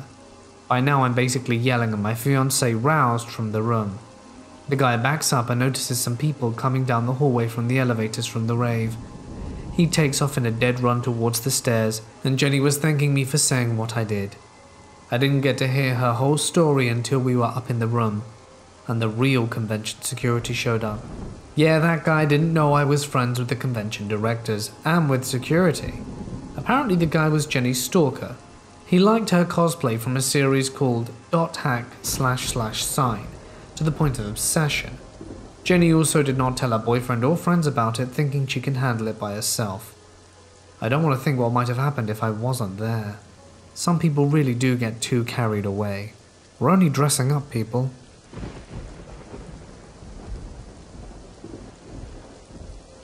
I'm a 37 year old female, and this happened when I was about 11. I lived in a small brick house with my mum and younger brother. There were two bedrooms at one end of the house, which were mine and my brother's, with my mum's room being on the opposite end of the house. In my bedroom, I had a bunk bed, and I always slept on the top bunk. I had a ceiling fan slash light fixture, which had the metal pull cords, and I had tied a string from the one that turns the light on and off and attached that string to the top bunk so that I could turn my light on and off once I'd climbed up to go to bed. So one night I'd stayed up later than I was supposed to, because I had called in a song request to a radio station and had been waiting on them to play the song so I could record it onto a cassette tape. Yes, I'm that old. They had finally played it and I successfully recorded it, so I climbed out of bed, got comfortable, and then grabbed my string, pulled it, turning off the light. About five seconds after turning it off, my room was filled with a blue light. I opened my eyes for a second and scanned the room, and when I saw where the light was coming from, my blood ran cold. There was a Native American man in full Native American clothing standing in the center of my room with his arms crossed, with a bright blue aura, and he was just staring at me. I tried to scream, but didn't seem to be able to move or scream for what felt like an eternity. I was finally able to scream, and once I did, I was able to grab my string and turn the light back on. With that, he vanished. I told my mum it was a bad dream, because she's definitely a non believer in anything paranormal, and I slept with the light on that night. The next day, my younger brother asked about what had happened, and I told him what I had seen. He proceeds to tell me he'd seen the exact same thing about a week before my experience but he told me not to be scared. He said he believed the man was protecting us. Well, I'm 37 now, and had almost forgotten the incident until just recently. I was listening to Uncle Josh's True Scary Story podcast, episode 12, and there was a story by an anonymous listener from San Diego who'd seen the exact same man, only his was holding a hatchet. I'm in Tennessee, the opposite side of the country from the anonymous listener. As soon as I heard the story, I began shaking and crying. And now I'm curious. Has anyone else seen him? This happened around 2016. Back then, me and my buddies were doing some traveling across Central and South America.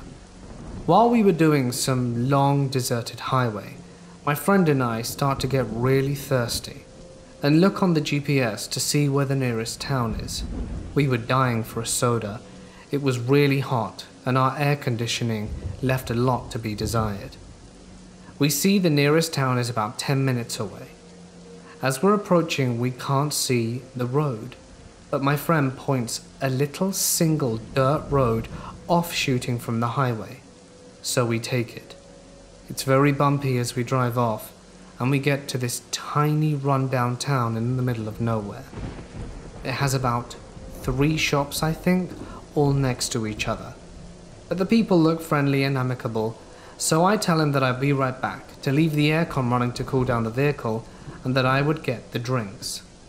I go in, get the drinks, and pay. I should probably mention at this point, I had just taken out a fat load of bills from the bank account in the last city.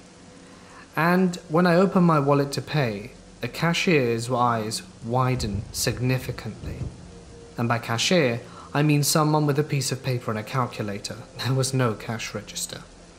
I grab my drinks and make my way back to the car, but feel all eyes on me from the four people that were in the shop at the time.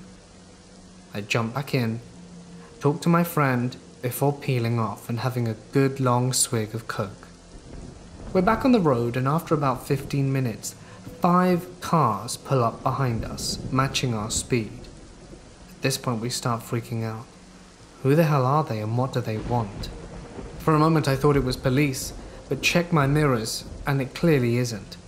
These cars look run down as hell, and our car was relatively new, and I was convinced that if we got faster, we could definitely outrun them. So I started putting my foot on the accelerator, pushing 80, pushing 90, pushing 100, and these guys were matching speed adamantly. I could hear their engines roar and it was clear that if they went any faster, I'm sure their engine would explode. But I carried on pursuing the speed. Just as I was hitting 110, do I see lights up ahead of me, and it's the police. I praise whatever higher power there is up there, slow down and stop right in front of them, and the cars in front of me just pile on, going quicker than before, and the police take no notice. I speak to the female officer and ask her why she didn't stop those cars. And she said because I'd pulled over first. Gee, thanks. I explained the situation to her and she wanted to know why I was speeding. I gave her a quizzical look and explain again that I was being chased by five goons in cars. She kind of bats the complaint away and asks what I did wrong. I give her a weird look. And then I think back to the shop, and it all adds up. The people there must have seen the wad of cash and definitely wanted to stop me to take a piece of it. After explaining it to her, she's quite satisfied with the answer I gave and says to be careful around these parts and that desperate people will do desperate things for money. I sort of thank her half heartedly and make my way, but she warns me not to speed again. Nice. We leave, and we weren't bothered by those people again, thankfully. But it did scare the crap out of me. We then stocked up on drinks after that to not have to make any unprecedented pit stops in rural, nowhere towns.